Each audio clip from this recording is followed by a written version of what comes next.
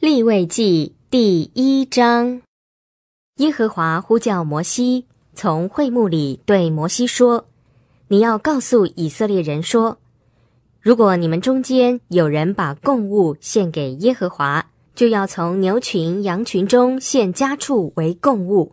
他的供物若是献牛做燔祭，就要把一头没有残疾的公牛牵到会幕门口。”就可以在耶和华面前蒙悦纳，他要按手在凡祭生的头上，凡祭就蒙悦纳，可以为他赎罪。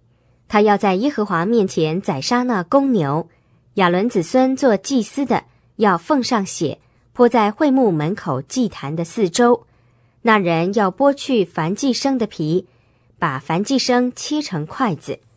亚伦子孙做祭司的要把炭火放在祭坛上。把柴排列在火上，亚伦子孙做祭司的要把肉块和头以及脂肪排列在祭坛炭火上的木柴上面。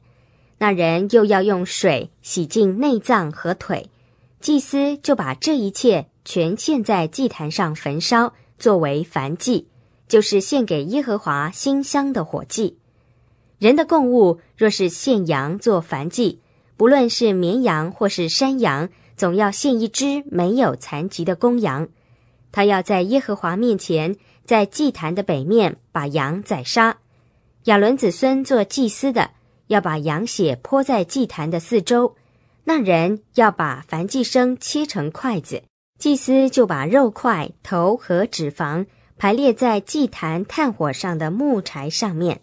那人又要用水洗净内脏和腿，祭司就把这一切。全献在祭坛上焚烧，作为燔祭，就是献给耶和华馨香的火祭。人若是献鸟类为燔祭，做耶和华的供物，就要献斑鸠或雏鸽。祭司要把鸟带到祭坛那里，扭下它的头来，焚烧在祭坛上，又把鸟血挤出来，留在祭坛的壁上，又要除掉鸟的嗉囊和脏物，丢在祭坛东边。倒灰的地方，然后要拿着两个翅膀把鸟撕裂，只是不可撕断。祭司要把它放在祭坛，在炭火上的木柴上面焚烧，作为燔祭，就是献给耶和华馨香的火祭。立位记第二章：如果有人献素祭为供物给耶和华，他的供物要用细面，他要浇上油，加上乳香。带到亚伦子孙做祭司的那里，祭司就从其中取出一把浇了油的细面，连同所有的乳香，做供物的象征，焚烧在祭坛上。这是献给耶和华馨香的火祭。祭余剩的要归给亚伦和他的子孙。这是献给耶和华的火祭中至圣之物。如果你献炉里烤的物做素祭的供物。就要用细面调油所做的无效饼，或是抹上油的无效薄饼。你的供物若是用煎盘上做的物做素祭，就要用调油的无效细面。你要把它剥成碎块，浇上油，这是素祭。你若是用浅锅中煎的物做素祭的供物，就要用细面调油做成。你要把这些东西做好。做献给耶和华的素祭，奉给祭司，让他带到祭坛。祭司要从素祭中举起象征的部分，焚烧在祭坛上，做献给耶和华馨香的火祭。素祭余剩的，要归给亚伦和他的子孙。这是献给耶和华的火祭中至圣之物。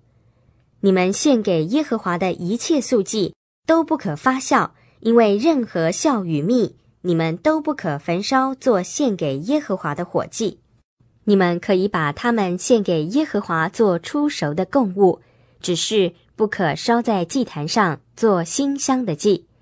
你献作素祭的一切供物都要用盐调和，在你的素祭上不可缺少你神立约的盐。你的一切供物都要用盐调和献上。如果你把出熟之物做素祭献给耶和华，就要献上烘过的新麦穗，就是碾过的新谷粒做素祭。你要浇上油，加上乳香，这是素祭。祭司要把供物的象征部分，就是一部分碾过的麦粒和油，连同所有的乳香一起焚烧，做献给耶和华的火祭。立位记第三章，人的供物若是做平安祭，如果献的是牛。必须在耶和华面前献一头没有残疾的公牛或母牛，他要按手在他的供物的头上，在会幕门口宰杀他。亚伦子孙做祭司的，要把血泼在祭坛的四周。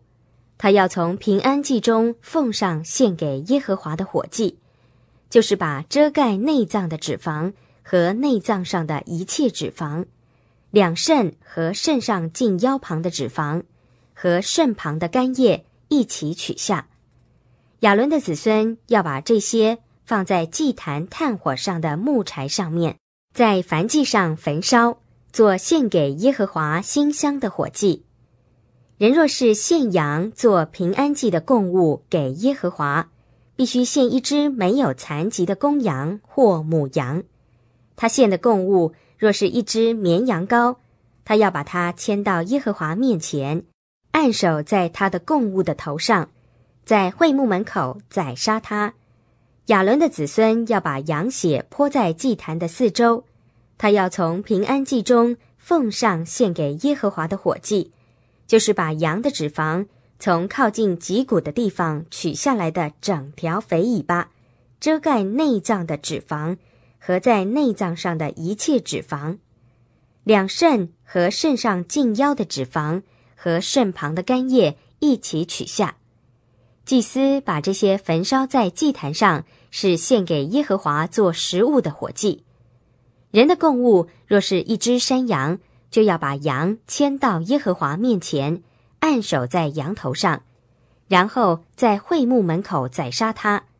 亚伦的子孙要把血。泼在祭坛的四周，他要从供物中奉上献给耶和华的火祭，就是把遮盖内脏的脂肪和内脏上的脂肪，两肾和肾上近腰的脂肪和肾旁的肝叶都要一起取下。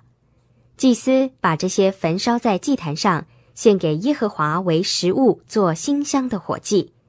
一切脂肪都是属于耶和华的，任何脂肪和血。你们都不可吃，这是你们在一切住处一条世代永存的律例。立位记第四章，耶和华对摩西说：“你要告诉以色列人说，如果有人在耶和华吩咐不可行的事上无意犯了罪，他必须遵行以下条例中的一样。如果受膏的祭司犯了罪，使人民陷在罪里。”他就要为自己所犯的罪献一头没有残疾的公牛给耶和华做赎罪祭。他要把公牛牵到耶和华面前，在会幕门口按手在公牛头上，然后在耶和华面前宰杀那公牛。瘦高的祭司要取一些公牛的血带到会幕那里，祭司要把指头蘸在血里。在耶和华面前，向着圣所的幔子弹血七次，然后祭司要用血抹会幕里耶和华面前的香坛的四角。至于其余的牛血，都要倒在会幕门口的燔祭坛角那里。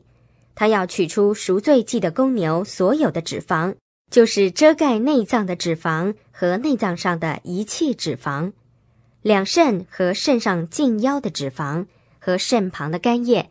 都一起取下来，正如从平安祭的公牛取出来的一样。祭司要把这些焚烧在燔祭坛上。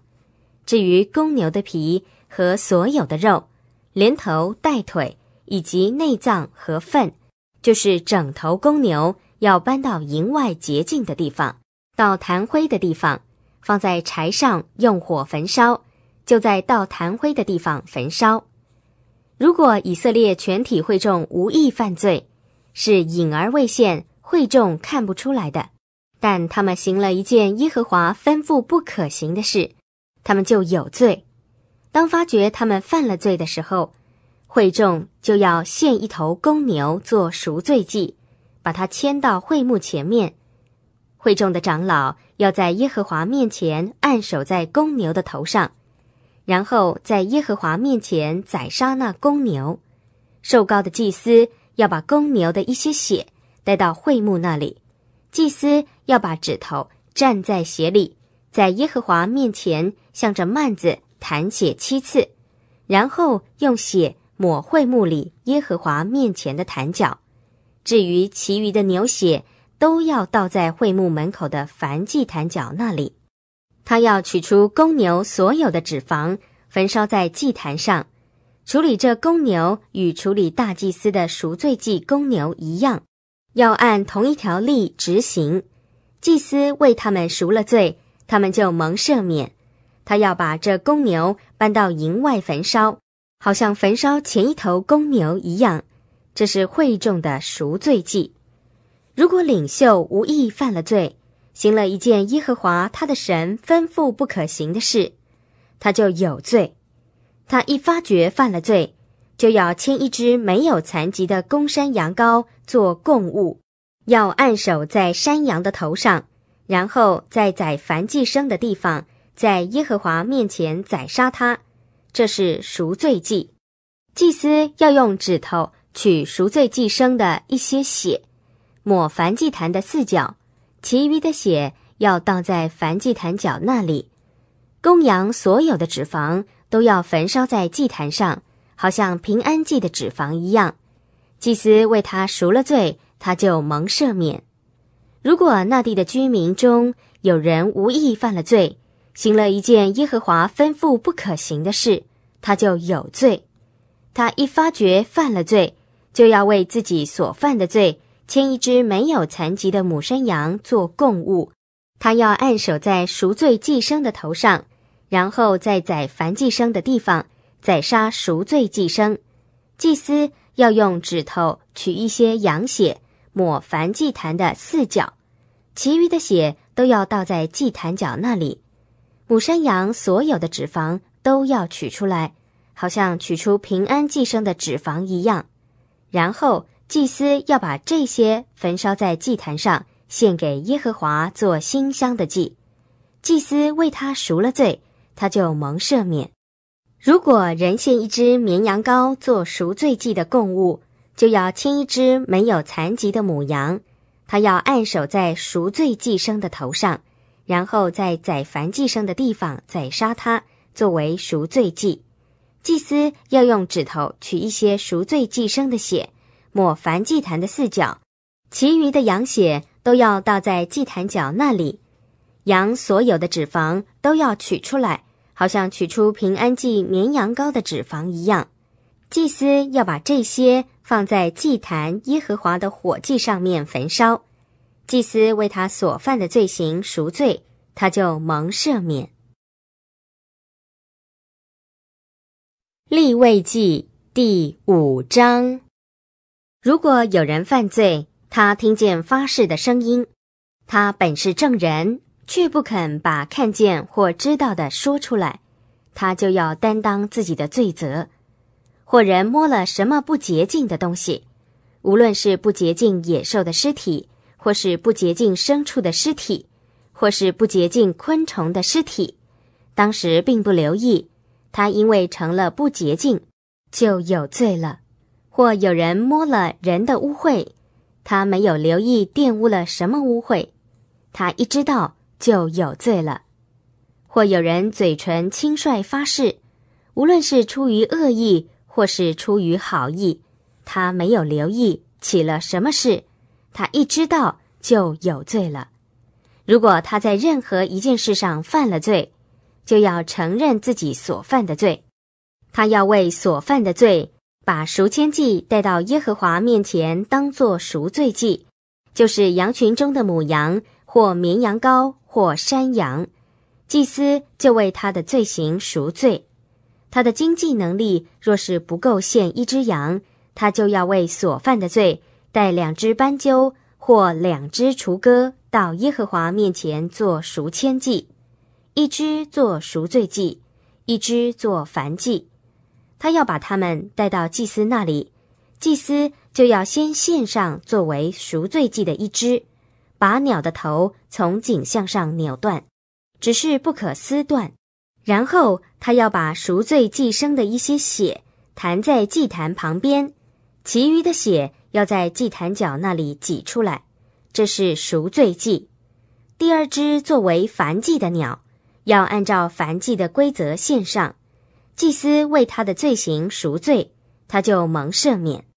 他的经济能力若是不够献两只斑鸠或两只雏鸽，就要为所犯的罪带来一公斤的细面做赎罪祭的供物。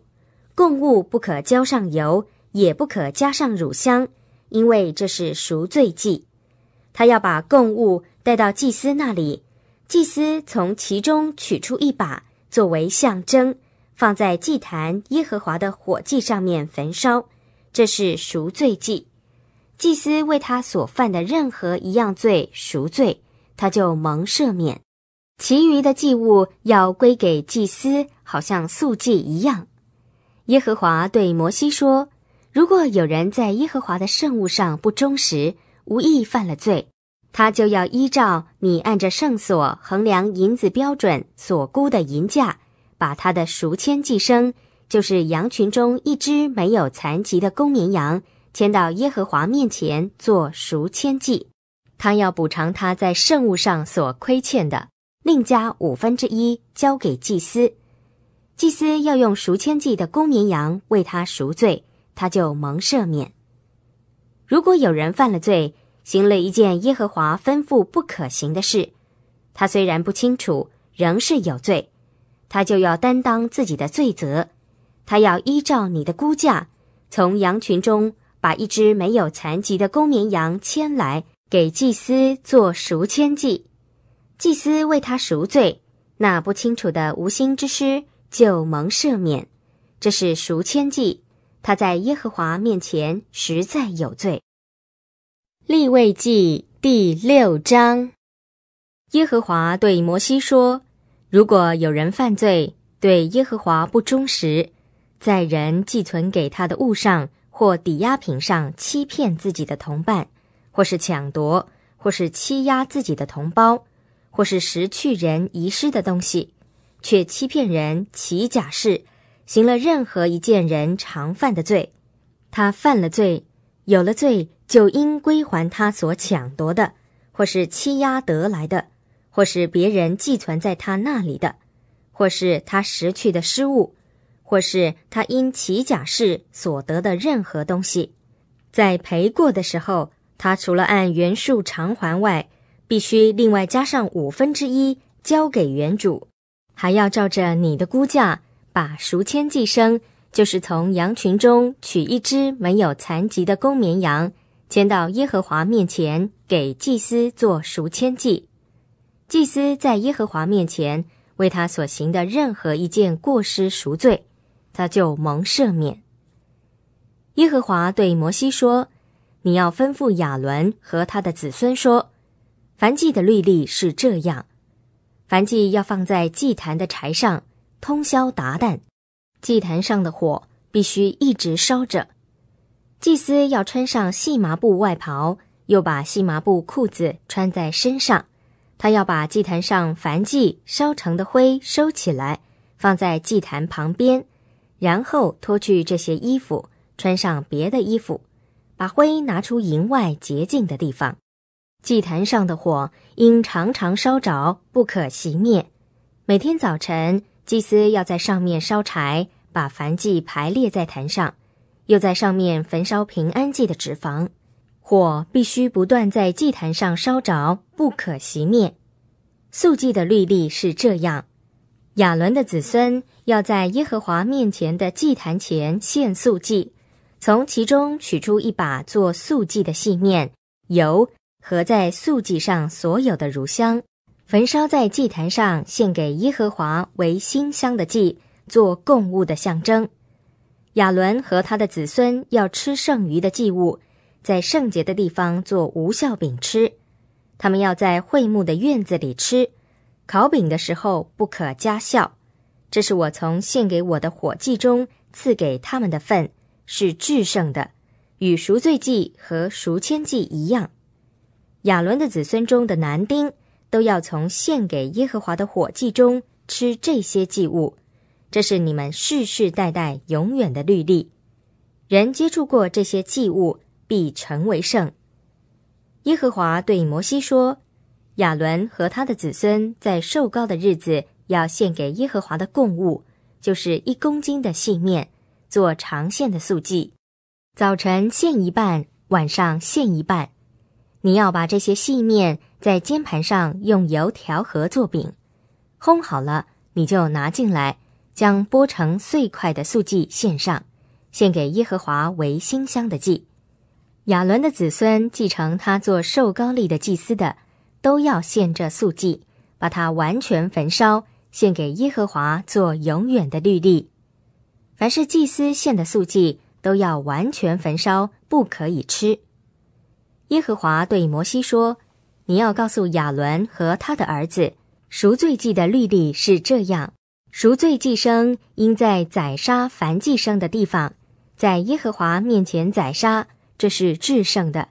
献这赎罪祭的祭司要吃这祭生，在会幕院子里的圣洁地方吃。接触过这祭肉的，必成为圣。沾了祭生的血，必须清理。”血溅在衣服上，应该在圣洁的地方洗净；煮祭物的瓦器却要打碎。如果煮祭物的是铜器，只需用水冲洗。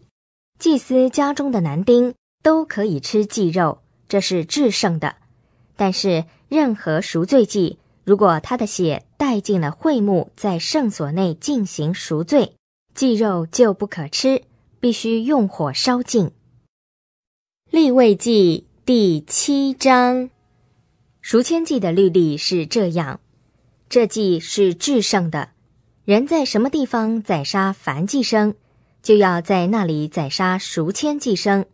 他的血要泼在祭坛的四周，祭司要把祭生的一切脂肪都献上，就是肥尾巴和遮盖内脏的脂肪，以及两个肾，肾上近腰旁的脂肪。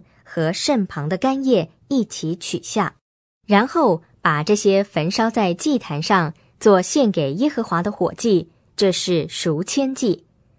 祭司家中的男丁都可以吃祭生的肉，要在圣洁的地方吃。这是至圣的。赎罪祭怎样，赎愆祭也怎样。两个祭的律例相同，祭物要归主持赎罪的祭司。祭司替人献燔祭，祭生的皮要归献燔祭的祭司；一切在炉里烤的，或在浅锅里，或在煎盘上做的素祭，都要归给那献祭的祭司；一切用油调和或是干的素祭，都要归给亚伦所有的子孙，大家均分。献给耶和华的平安祭的律例是这样：人若是为感恩献祭。就要用调油的无效饼和抹了油的无效薄饼，以及用油调和了细面做的饼，与感恩祭一同献上。他要把他的供物连同有效的饼，跟那位感恩而献的平安祭一起献上。他要从各物中取出一个饼作为举祭，献给耶和华，归给那泼平安祭生之血的祭司。为感恩而献的平安祭的肉，只能在献祭那日吃，一点也不可留到早晨。他献的供物若是还愿祭或是甘心祭，献祭那日可以吃，剩下的第二天也可以吃。还剩下的祭肉，到了第三天就要用火烧掉。如果在第三天吃平安祭的肉，必不蒙悦纳。他献上的。也不再算为祭，因为祭肉已经成为不洁。吃这肉的人必担当自己的罪责。祭肉若是接触了任何不洁，就不可以吃，要用火烧掉。洁净的人才可以吃祭肉。身上不洁净的人吃了献与耶和华的平安祭的祭肉，那人必从自己的族人中被剪除。人若是摸了任何不洁，或是人的污秽，或是牲畜的污秽，或是任何不洁净的可憎之物，然后吃献给耶和华的平安祭的肉，那人必从自己的族人中被剪除。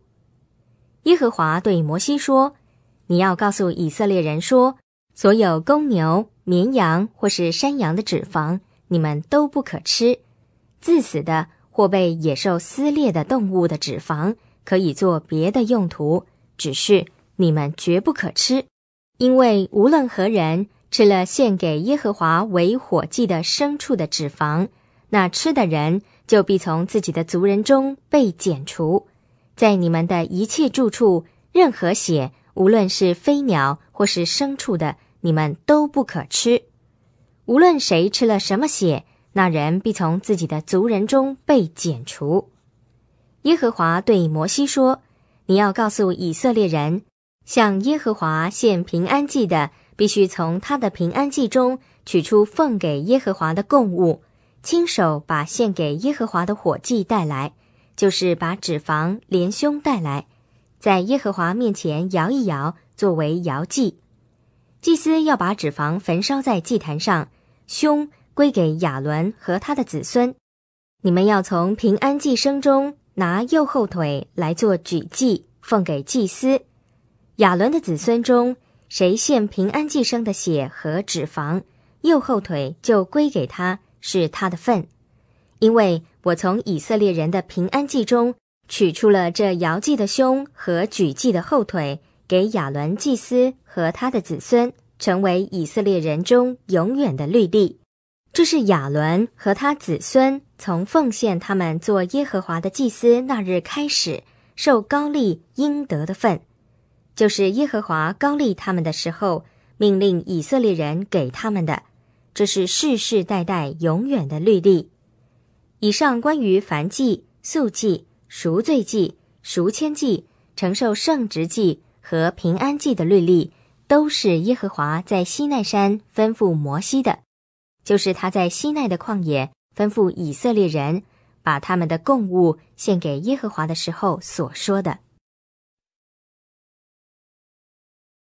立位记第八章，耶和华对摩西说：“你要把亚伦和他的儿子，连同圣衣、膏油、赎罪祭的一头公牛、两只公绵羊、一篮无效饼都带来，又要召集全体会众到会幕门口那里。”于是摩西照着耶和华命令他的去行，会众就聚集到会幕门口那里。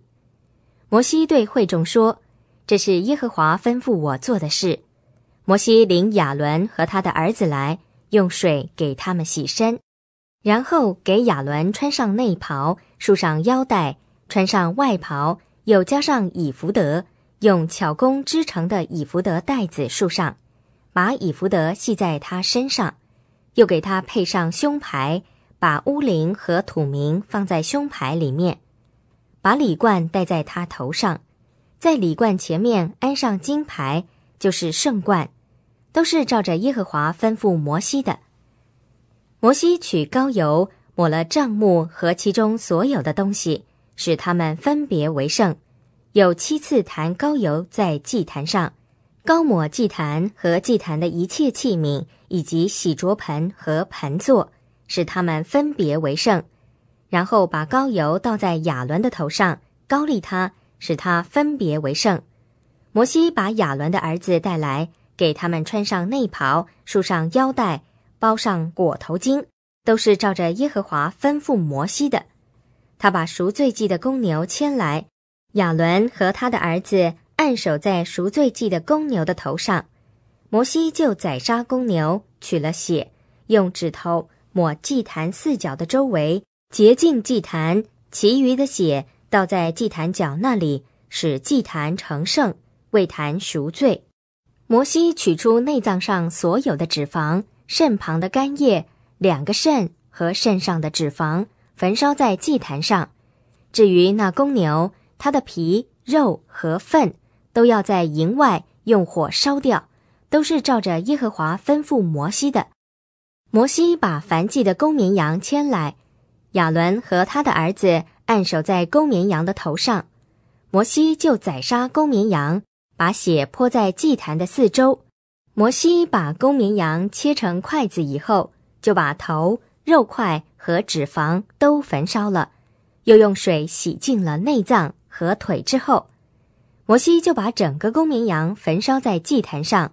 这是燔祭，是献给耶和华馨香的火祭，都是耶和华吩咐摩西的。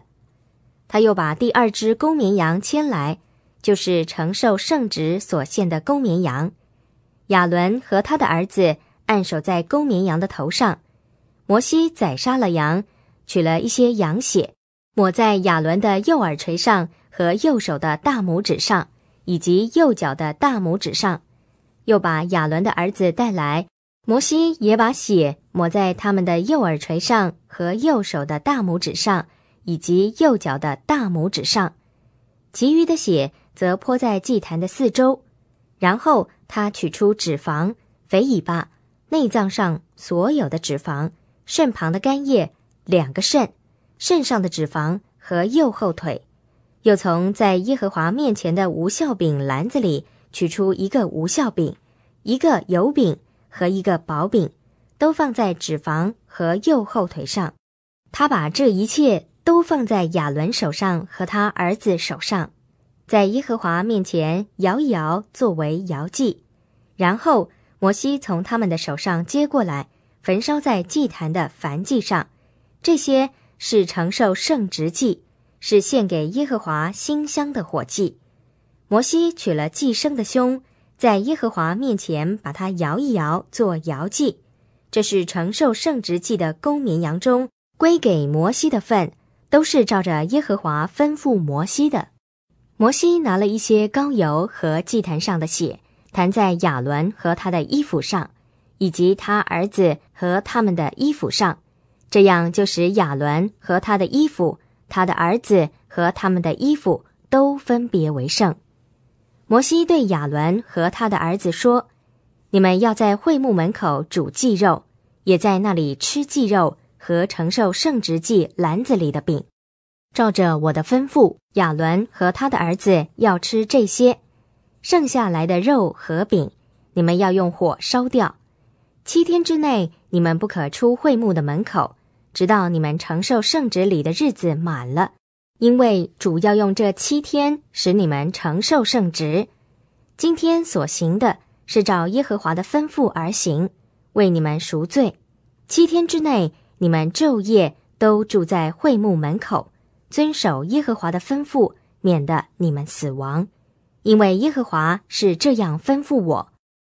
于是亚伦和他的儿子行了耶和华借着摩西吩咐的一切事。立位记第九章，到了第八天，摩西把亚伦和他的儿子以及以色列的众长老都召了来。摩西对亚伦说：“你要取一头公牛犊来做赎罪祭，一只公绵羊做燔祭，两样都要没有残疾的。现在耶和华的面前，你也要告诉以色列人，你们要取一只公山羊做赎罪祭。”又取一头一岁的牛犊和一只一岁的绵羊羔做燔祭，两样都要没有残疾的。又取一头公牛和一只公绵羊做平安祭，在现在耶和华面前。又取用油调和的素祭，因为今天耶和华要向你们显现。于是他们把摩西所吩咐的带到会幕前面，全体会众都走进来。站在耶和华的面前，摩西说：“这是耶和华吩咐你们的事，你们要照着行。耶和华的荣耀就要向你们显现。”然后摩西对亚伦说：“走到祭坛那里，献上你的赎罪祭和燔祭，为自己和人民赎罪；又献上人民的供物，按着耶和华的吩咐为他们赎罪。”于是亚伦走进祭坛，宰杀那位自己献的赎罪祭牛犊。亚伦的儿子奉上血，他就把手指蘸在血里，抹在祭坛的四角上，把剩下的血倒在祭坛角那里。赎罪祭生的脂肪、肾和干叶，他都焚烧在祭坛上，都是照着耶和华吩咐摩西的。至于肉和皮，却在营外用火烧掉。亚伦宰杀了燔祭生，他的儿子把血递给他，泼在祭坛的周围。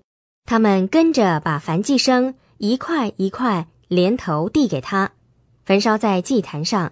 亚伦又洗净了内脏和腿，在祭坛的燔祭上焚烧。他把人民的贡物献上。又把那为人民做赎罪祭的公山羊牵来宰杀了，献为赎罪祭，和先前献的一样。然后他按着规则献上燔祭，又献上素祭，从其中取了满满的一把，在祭坛上焚烧。这是在早晨的燔祭以外的。亚伦又宰杀了那为人民做平安祭的公牛和公绵羊。亚伦的儿子把血递给他。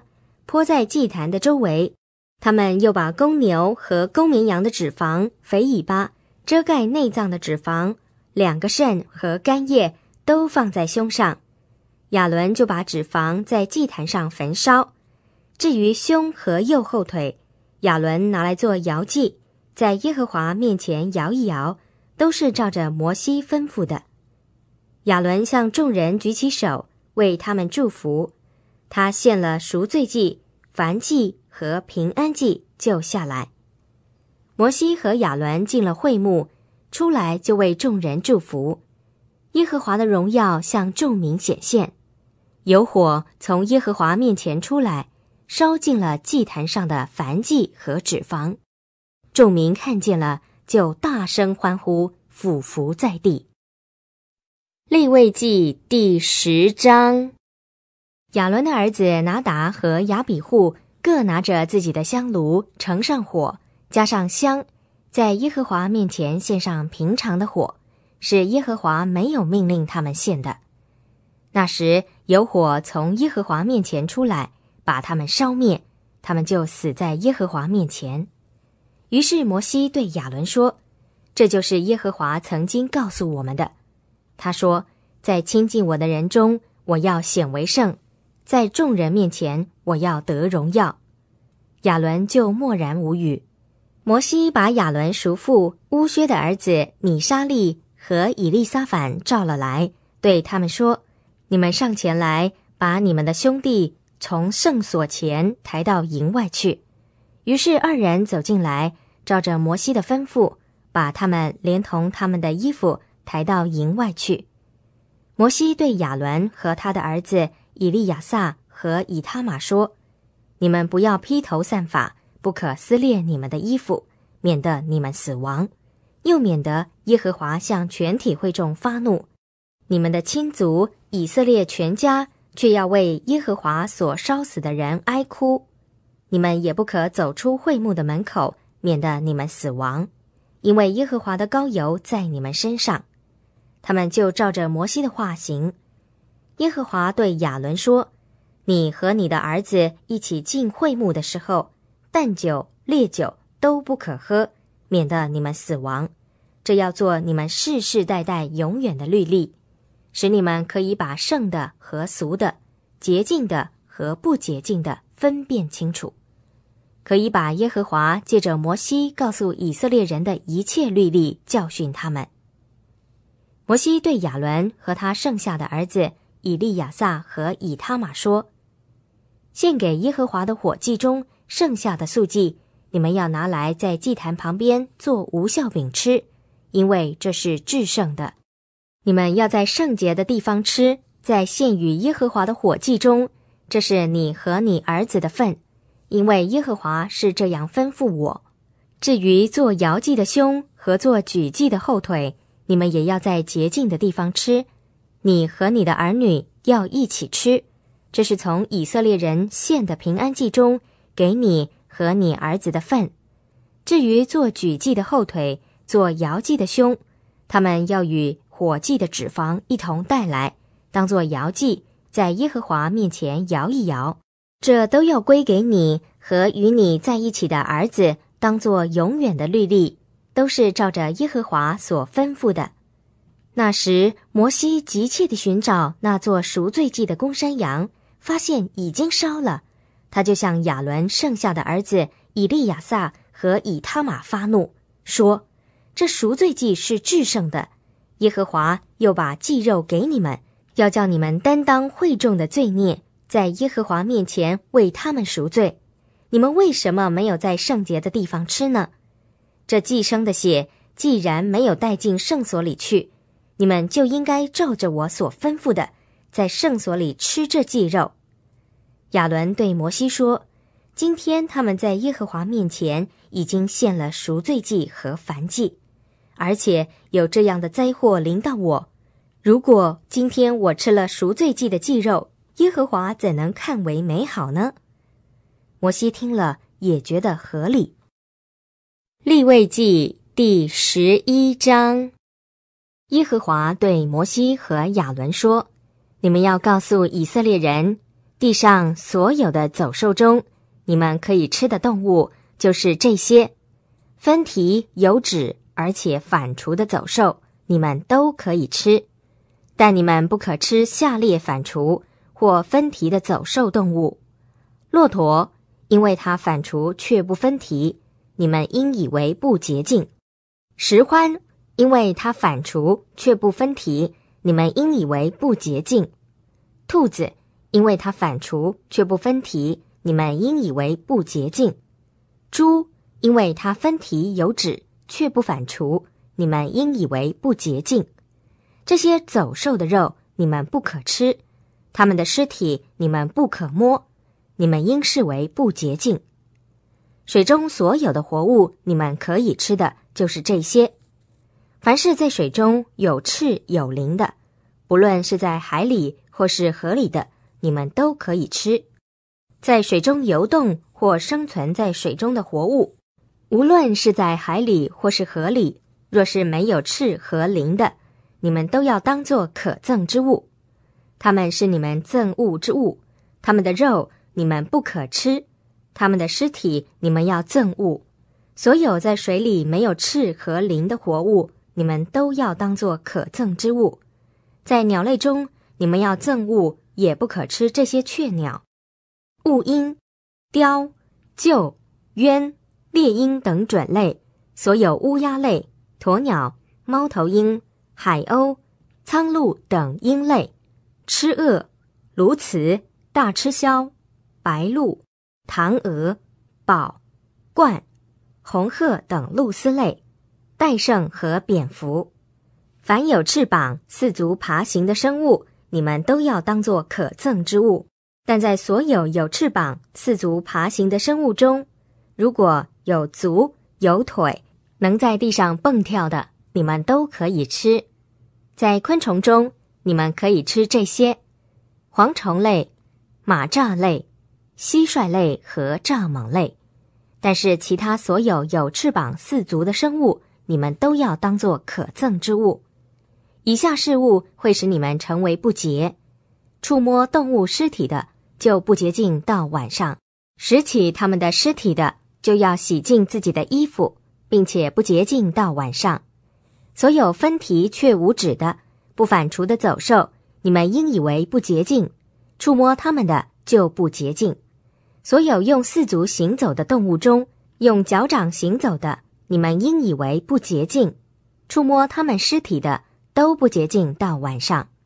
拾起他们尸体的。就要洗净自己的衣服，并且不洁净到晚上。以上这些，你们应以为不洁净。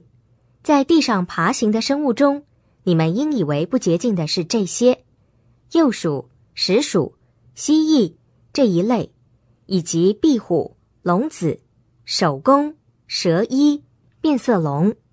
在所有爬行的生物中，你们应以这些为不洁净。他们死了以后。触摸它们的都不洁净到晚上，它们当中死了的，掉在什么东西上，无论是木器或是衣服、皮子或是布袋等任何器具，都成为不洁净，要放在水中，但仍不洁净到晚上，以后就真洁净了。他们当中死了的，掉在什么瓦器里，其中不论是什么，都成为不洁净。你们要把瓦器打碎。瓦器的水若是滴在任何食物上，食物就成了不洁净。若是滴在装了饮料的器皿里，饮料也成为不洁净。他们尸体的任何部分掉在什么东西上，那东西就不洁净。无论是炉或是锅，都成为不洁净，应该打碎。你们应以这些为不洁净。但是水源和储水池仍算是洁净的，只有触摸水中尸体的才是不洁净。他们尸体的一部分掉在要播种的种子上，种子还是洁净的。但是如果种子已经浇了水，他们尸体的一部分才掉在种子上面，你们应以这种子为不洁净。一只你们可以吃的走兽死了。谁摸了他的尸体就不洁净到晚上，谁吃了他的尸体就要洗净自己的衣服，并且不洁净到晚上。谁拾起这尸体也要洗净自己的衣服，并且不洁净到晚上。所有在地上爬行的动物都是可憎之物，都不可吃。凡是用肚子或用四足或是多足在地上爬行的动物，你们都不可吃。因为它们是可憎之物，你们不可因任何爬行的动物使自己成为可憎的，也不可因它们玷污自己，以致不洁净。因为我是耶和华你们的神，所以你们要使自己成为圣洁，你们要分别为圣，因为我是圣洁的。你们不可因在地上爬行的任何动物玷污自己，因为我是耶和华。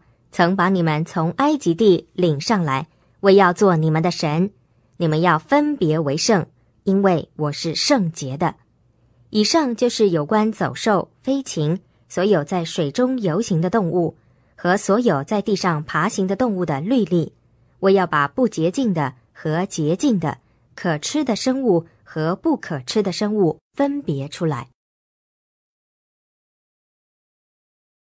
立位记第十二章，耶和华对摩西说：“你要告诉以色列人，如果有妇人怀孕生了男孩，他就不洁净七天，好像患病污秽的日子不洁净一样。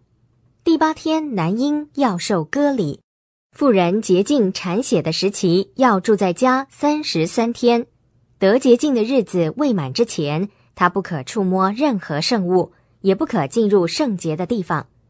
如果她生了女孩，就不洁净十四天，像月经污秽的日子一样。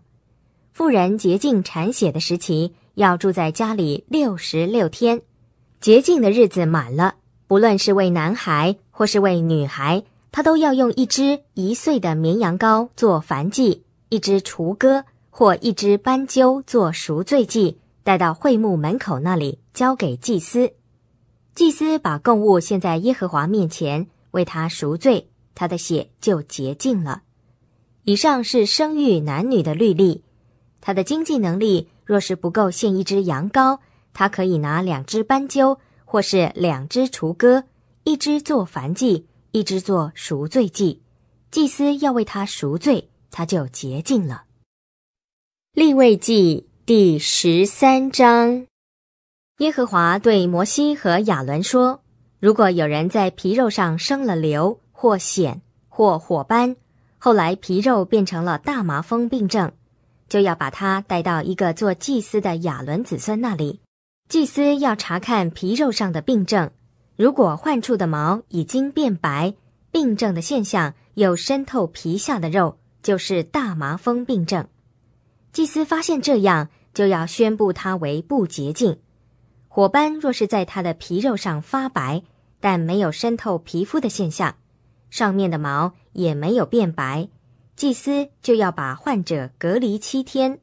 到了第七天，祭司要查看他，如果看见病情止住了，皮上的患处没有蔓延，祭司还要把他再隔离七天。到了第七天，祭司要再查看他，如果看见患处色泽变淡。也没有在皮上蔓延，祭司就要宣布他为洁净。这不过是显，他洗净衣服就得洁净了。但是祭司查看，宣布他洁净以后，显若是在皮上蔓延，他就要再次给祭司查看。祭司要查看他，如果发现显在皮上蔓延了，祭司就要宣布它为不洁净，这是大麻风。如果有人感染到大麻风，就要带他到祭司那里，祭司要查看，如果发现皮上有白色浮肿，毛已经变白，患处的肉红肿，这就是皮肉上的潜伏性麻风病发作。祭司要宣布它为不洁净，不必隔离观察，因为它已经不洁净。如果祭司认为麻风病已在皮上蔓延，从头到脚遮满了患病者全身的皮。那么祭司就要查看，如果看见麻风布满了他的全身，祭司就要宣布那患病者为洁净，因为全身变白就算是洁净。但他身上什么时候出现红肿的肉，他就成为不洁净。祭司发现那红肿的肉，就要宣布它为不洁净。红肿的肉原来是不洁净的，是麻风病，但红肿的肉。若是再复原，又变成白，他就要到祭司那里。祭司要查看，如果看见患处变白了，祭司就要宣布那患病者为洁净的，他就洁净了。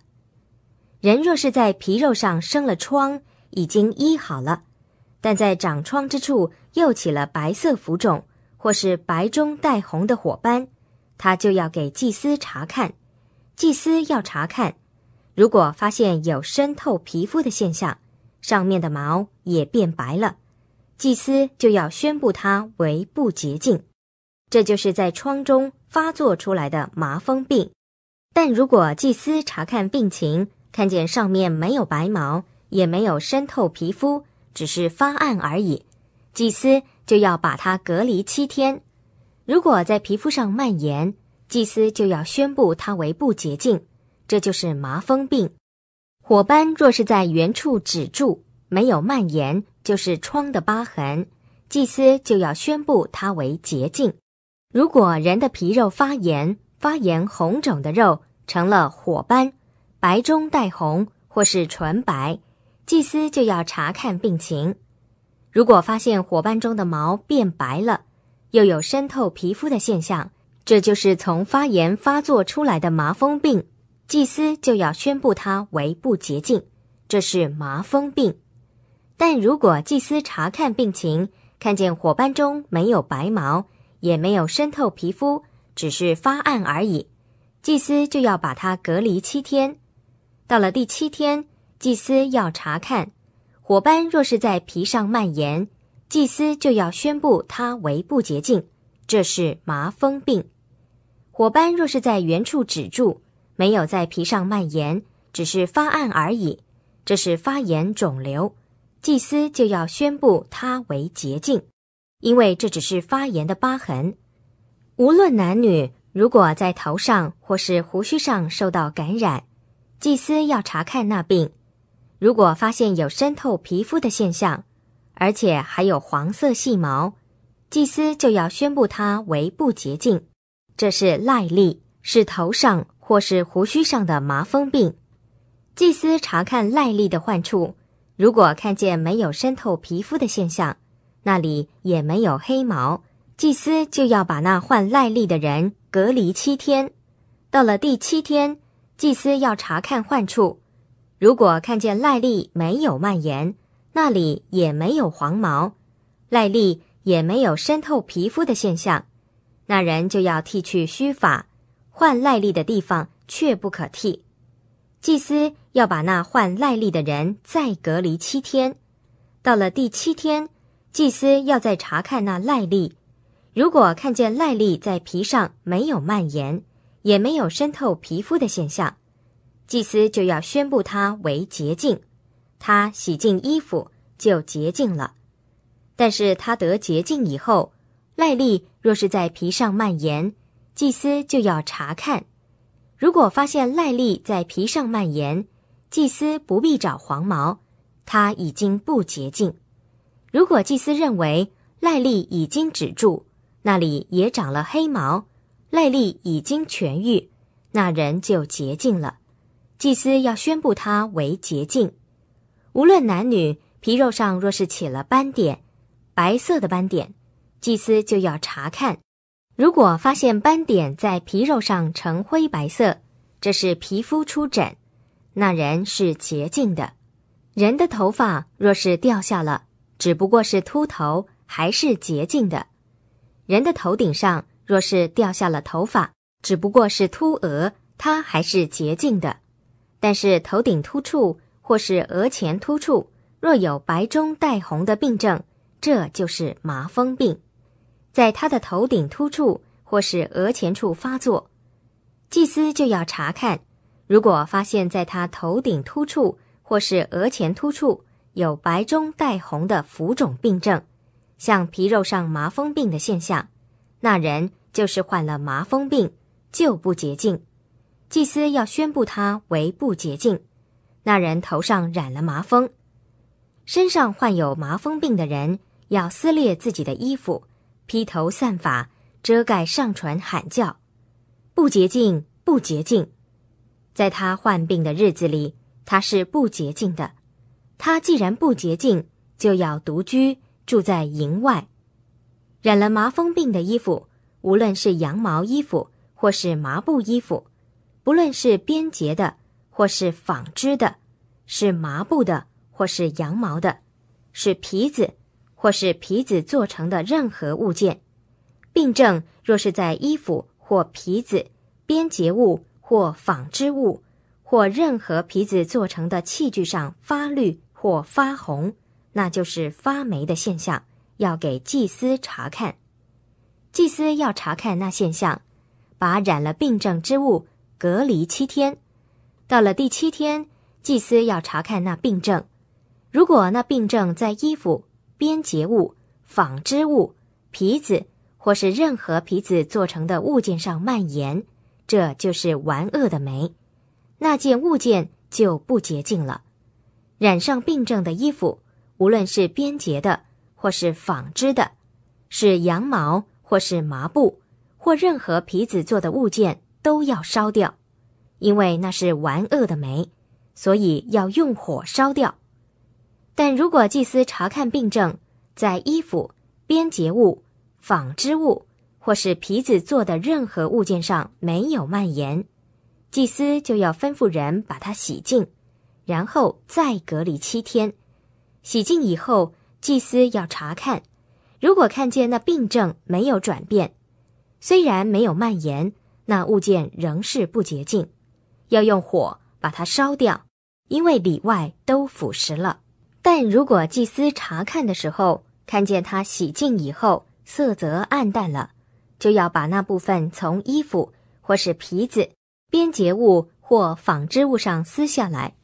如果病症再出现在剩下的衣服、编结物、纺织物或任何皮子做的物件上，那就是病症仍然发作，染了病症的物件要用火烧掉。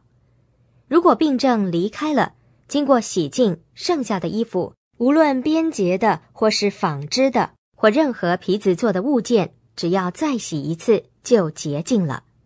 以上是与羊毛衣服或是麻布衣服、编结的或纺织的，或任何皮子做的物件有关的发霉律例，可以断定洁净。或是不洁净。立位记第十四章，耶和华对摩西说：“患麻风病的人得洁净的日子，应守的律例如下：人要带他去见祭司，祭司要出到营外去查看。祭司若是看见患病的人身上的麻风病已经好了，就要吩咐人为那求洁净的人。”拿两只洁净的火鸟、香柏木、朱红色线和牛膝草来，祭司要吩咐人用瓦器盛活水，把一只鸟宰杀在上面。至于那只火鸟，祭司要把它与香柏木、朱红色线和牛膝草一起拿来，把这些物品和火鸟一同蘸于那在活水上宰杀的鸟血中。然后向那患麻风病求洁净的人身上弹七次，就可以宣布他洁净。又让那只火鸟飞到田野去。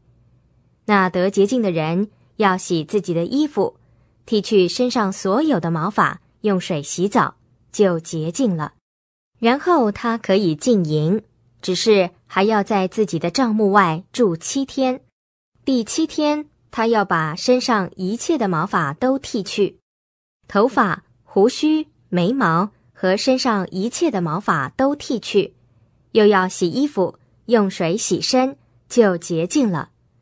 第八天，他要取两只没有残疾的公羊羔和一只没有残疾一岁的母羊羔，又要把调油的细面三公斤做素祭，以及三分之一公升油一同取来。行洁净礼的祭司领那求洁净的人，拿着这些祭物站在会幕门口耶和华的面前。祭司取一只公羊羔献作赎愆祭。取三分之一公升油一同献上，祭司把这两样当作摇祭，在耶和华面前摇一摇。他要在圣洁的地方，就是宰杀赎罪祭牲和燔祭牲的地方，宰杀那只公羊羔，因为赎愆祭牲像赎罪祭牲一样是至圣的，要归祭司。祭司要取些赎愆祭牲的血，抹在得洁净的人的右耳垂上。和右手的大拇指上，以及右脚的大拇指上，祭司又从那三分之一公升油中取出一点来，倒在自己的左掌里，把右手的一个指头蘸在左掌的油里，在耶和华面前用指头把油弹七次，然后祭司要把手中剩下的油抹在那得洁净的人的右耳垂上和右手的大拇指上。以及右脚的大拇指上，就是抹在赎愆祭牲的血上。祭司要把手中剩下的油抹在那得洁净的人的头上。祭司在耶和华面前为他赎罪。祭司要献赎罪祭，为那得洁净的人赎罪，使他脱离污秽，然后宰杀凡祭牲。祭司要把燔祭和素祭献在祭坛上，为他赎罪，他就洁净了。但如果他贫穷，经济能力不足，他只要拿一只公绵羊羔做赎愆祭，摇一摇为他赎罪，要把调油的细面一公斤做素祭，和三分之一公升的油一同拿来，又要按他的经济能力拿两只斑鸠或是两只雏鸽，一只做赎罪祭，一只做燔祭。第八天，他为了自己得洁净。要把这些祭物带到会幕门口，耶和华面前交给祭司。祭司要取那只做赎愆祭的公羊羔和那三分之一公升油。祭司把这些在耶和华面前摇一摇，当做摇祭。然后宰杀做赎愆祭的公羊羔，取一些赎愆祭生的血，抹在那得洁净的人的右耳垂上和右手的大拇指上，以及右脚的大拇指上。祭司要把一些油倒在自己的左掌里，用右手的一个指头把左掌中的油在耶和华面前弹七次。祭司又要把手中的油抹在那得洁净的人的右耳垂上和右手的大拇指上，以及右脚的大拇指上，就是抹了赎愆祭牲的血的地方。祭司把手中剩下的油抹在那得洁净的人的头上。在耶和华面前为他赎罪，那人就要按着自己的经济能力献上一只斑鸠或是一只雏鸽。他要按着自己的经济能力献上一只做赎罪祭，一只做燔祭，连同素祭一同献上。祭司要在耶和华面前为求洁净的人赎罪。这是关于患了麻风病但经济能力不足够预备正常洁净礼祭物的人。应守的律例。耶和华对摩西和亚伦说：“你们进了我赐给你们做产业的迦南地的时候，我给你们做产业之地的房屋，如果发霉，房主就要去告诉祭司。据我看来，房屋中似乎染了病症。祭司进去查看病症之前，要先吩咐人把房屋搬空，免得房屋里的一切都成了不洁。”然后祭司才进去查看那房屋，他要查看那病症。如果发现在房屋的墙上有发绿或是发红的腐蚀斑纹，而且有渗透入墙的现象，祭司就要从房屋里出来，到房门外去，把房屋隔离七天。第七天，祭司要回来查看，如果发现病症在房屋的墙上蔓延，祭司就要吩咐人把染有病症的石头挖出来，扔在城外不洁净的地方，要刮净房屋里面的四周，把刮下来的灰泥倒在城外不洁净的地方，拿别的石头放进去代替挖出来的石头，然后用别的灰泥粉刷房屋。如果挖出石头，刮了房屋，粉刷了墙以后，病症再次在房屋里出现，祭司就要进去查看。如果发现病症在房屋里有蔓延的现象，这就是房屋里顽恶的发霉现象，那房屋就不洁净了。要把房屋拆毁，把房屋里的石头、木头以及所有的灰泥都搬到城外不洁净的地方去。在房屋被关闭的期间。进去的人必不洁净到晚上，在房屋里睡觉的人要洗净自己的衣服，在房屋里吃饭的人也要洗净自己的衣服。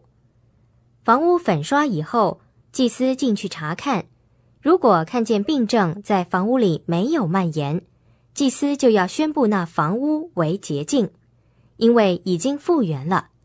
为了洁净那房屋，祭司要拿两只鸟、香柏木。朱红色线和牛膝草，把一只鸟在盛着活水的瓦器上宰杀，然后拿香柏木、牛膝草、朱红色线和那只活鸟都一同站在被宰杀的鸟血和活水中，向房屋弹七次。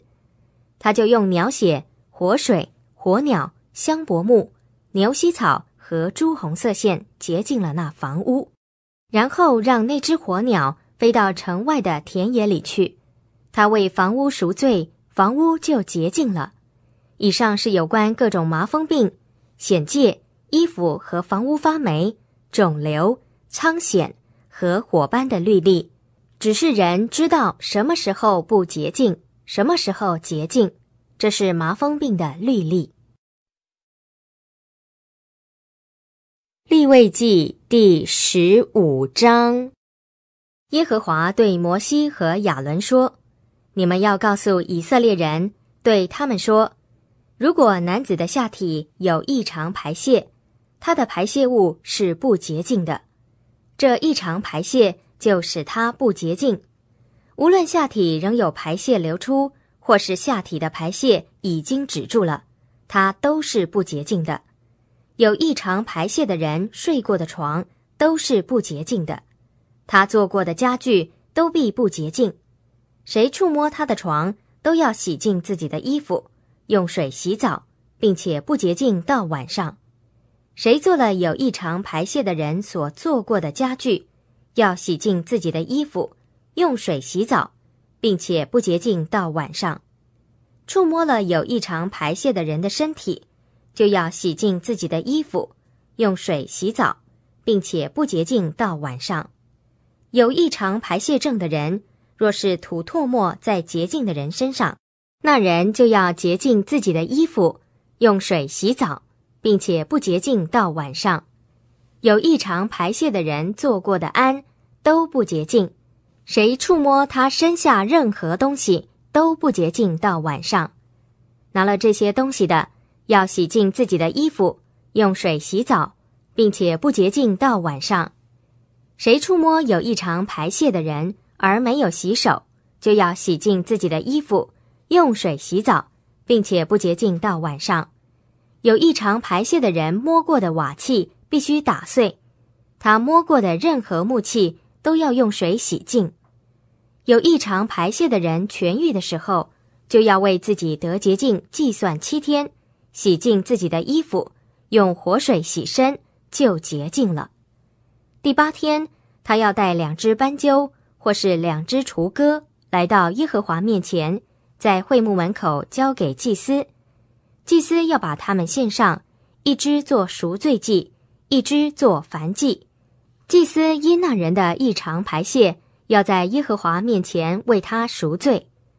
人若是遗精，就要用水把全身洗净，并且不洁净到晚上。无论是衣服或是皮革被精液染污，都要用水洗净，并且不洁净到晚上。至于女人，男人若是与她同睡性交，两人都要用水洗澡，并且不洁净到晚上。如果女人身上排泄的是精血，她必污秽七天，摸她的都不洁净到晚上。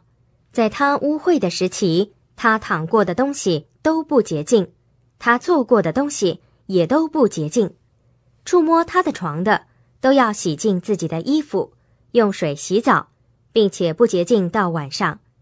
触摸他坐过的任何家具，都要洗净自己的衣服，用水洗澡。并且不洁净到晚上，在女人的床上或是在她坐过的家具上，如果有别的东西，人摸了它就不洁净到晚上。男人若是与那女人同睡，染上她的污秽，就不洁净七天，他躺过的床都不洁净。女人若是在月经污秽期以外血漏多日，或是月经污秽期过长，患有血漏症。她在这些血漏的日子是不洁净的，好像她在月经污秽的日子不洁净一样。她在血漏症的日子躺过的床，都像她在月经污秽时的床一样。她所做过的家具都不洁净，像月经污秽的时候一样。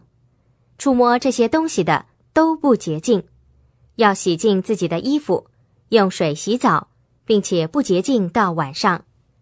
女人的血漏若是洁净了，她要计算七天，然后就洁净了。第八天，她要拿两只斑鸠或两只雏鸽带到会幕门口，交给祭司。祭司要献一只做赎罪祭，一只做燔祭。祭司要在耶和华面前，因那妇人血漏的不洁，为他赎罪。你们要这样叫以色列人远离他们的不洁。免得他们玷污我在他们中间的会幕，他们就因自己的不洁而死亡。以上是关于因为异常排泄和遗精成为不洁净，以及患病污秽的妇女和患血漏的男女，还有男人与不洁净的女人同睡的律例。立位记第十六章。亚伦的两个儿子走进耶和华面前而死亡以后，耶和华对摩西说：“你要告诉你的哥哥亚伦，不可随时进入圣所的幔子里面，到约柜上的施恩座，免得他死亡。因为我在施恩座上的彩云中显现。亚伦进入圣所时，要带一头公牛犊做赎罪祭，一只公绵羊做燔祭。他要穿上细麻布的圣内袍。”也要把细麻布的裤子穿在身上，腰束细麻布的带子，头戴细麻布礼冠，这些就是圣衣。他要先用水洗身，然后才穿上圣衣。他要从以色列的会众中取两只公山羊做赎罪祭，一只公绵羊做燔祭。亚伦为自己的罪献上做赎罪祭的公牛，为自己和家人赎罪。然后把两只公山羊牵来，放在会幕门口耶和华的面前。亚伦要为这两只山羊抽签，一签归耶和华，另一签归阿撒谢勒。亚伦要把那抽签归耶和华的山羊献作赎罪祭，至于那抽签归阿撒谢勒的山羊，却要活活地摆在耶和华面前，用来赎罪，然后叫人把他送到旷野。归阿撒谢勒，亚伦要先为自己献上做赎罪祭的公牛，为自己和家人赎罪。他要把那为自己做赎罪祭的公牛宰杀，从耶和华面前的祭坛上拿一个盛满火炭的香炉，又拿一捧捣细的芬芳香料，带进幔子里，在耶和华面前把香放在火上，使香的烟云遮掩约柜上的施恩座。免得他死亡，他要取些公牛的血，用指头弹在施恩座的东面，再用指头在施恩座的前面弹血七次。然后他要宰杀那位人民做赎罪祭的公山羊，把血带进幔子里，弹羊血在施恩座的上面和施恩座的前面，好像弹公牛的血一样。他要为圣所赎罪，使圣所脱离以色列人的不洁和他们的过犯，就是他们的一切罪孽。然后他又要为会幕同样的赎罪，因为会幕和他们在一起，在他们的不洁中间。他进入至圣所赎罪的时候，会幕里不可有人，直到他为自己和家人以及以色列全体会众赎了罪出来为止。他出来就到耶和华面前的祭坛那里为坛赎罪。他要取一点公牛的血和山羊的血，抹祭坛的四角。又用指头向祭坛弹血七次，洁净祭坛，使它分别为圣，脱离以色列人的不洁。亚伦为圣所、会幕和祭坛赎了罪以后，就要把那只活山羊献上。亚伦两手按在那只活山羊头上，承认以色列人的一切罪孽和他们的过犯，就是他们一切罪孽，把他们都归在那山羊的头上。然后经由已预定的人把羊送到旷野里去，那只山羊就担当他们的一切罪孽，把他们带到一个完全隔离的地。所以那人要把那只山羊送到旷野里去。亚伦要进会幕，把他进圣所时所穿的细麻布衣服脱下，放在那里，然后在圣洁的地方用水洗身，穿回自己的衣服出来。把自己的燔祭和众民的燔祭献上，为自己和众民赎罪。赎罪祭生的脂肪，他要焚烧在祭坛上。那送走归阿萨谢勒的山羊的人，要洗净自己的衣服，用水洗身，然后才可以进到营里。那做赎罪祭的公牛和做赎罪祭的公山羊，他们的血既然被带进去为圣所赎罪。他们的身体就要搬出营外去，他们的皮、肉和粪都要用火烧掉。那烧祭牲的人要洗净自己的衣服，用水洗身，然后才可以进营。每逢七月十日，你们要刻苦己心，无论是本地人或是寄居在你们中间的外人，什么的工你们都不可做，这要做你们永远的律例，因为在这一天。他要为你们赎罪，使你们洁净，脱离你们一切罪孽，使你们在耶和华面前成为洁净。这是完全休歇的安息。你们要刻苦己心，这是永远的律例。那被高利承受圣职、接替他父亲做祭司的，要穿上细麻布衣服，就是圣洁的衣服，进行赎罪。他要为至圣所赎罪，又为会幕和祭坛赎罪。以及为祭司们和全体会众赎罪，每年一次，要因以色列人一切的罪为他们赎罪，这是你们永远的律例。于是亚伦照着耶和华吩咐摩西的去行。立位记第十七章，耶和华对摩西说：“你要告诉亚伦和他的儿子以及以色列人，对他们说。”这是耶和华的吩咐：以色列家的任何人，不论在营内或在营外，宰杀公牛、绵羊或山羊，而不迁到会幕门口耶和华的帐幕面前，献给耶和华做供物，流血的罪就要归到那人身上。他既然流了牲畜的血，就必从自己的族人中被剪除。这条例的目的。是要以色列人把他们惯常在田野里宰杀的祭牲带去给耶和华，到会幕门口交给祭司，好像献给耶和华做平安祭那样宰杀牲畜。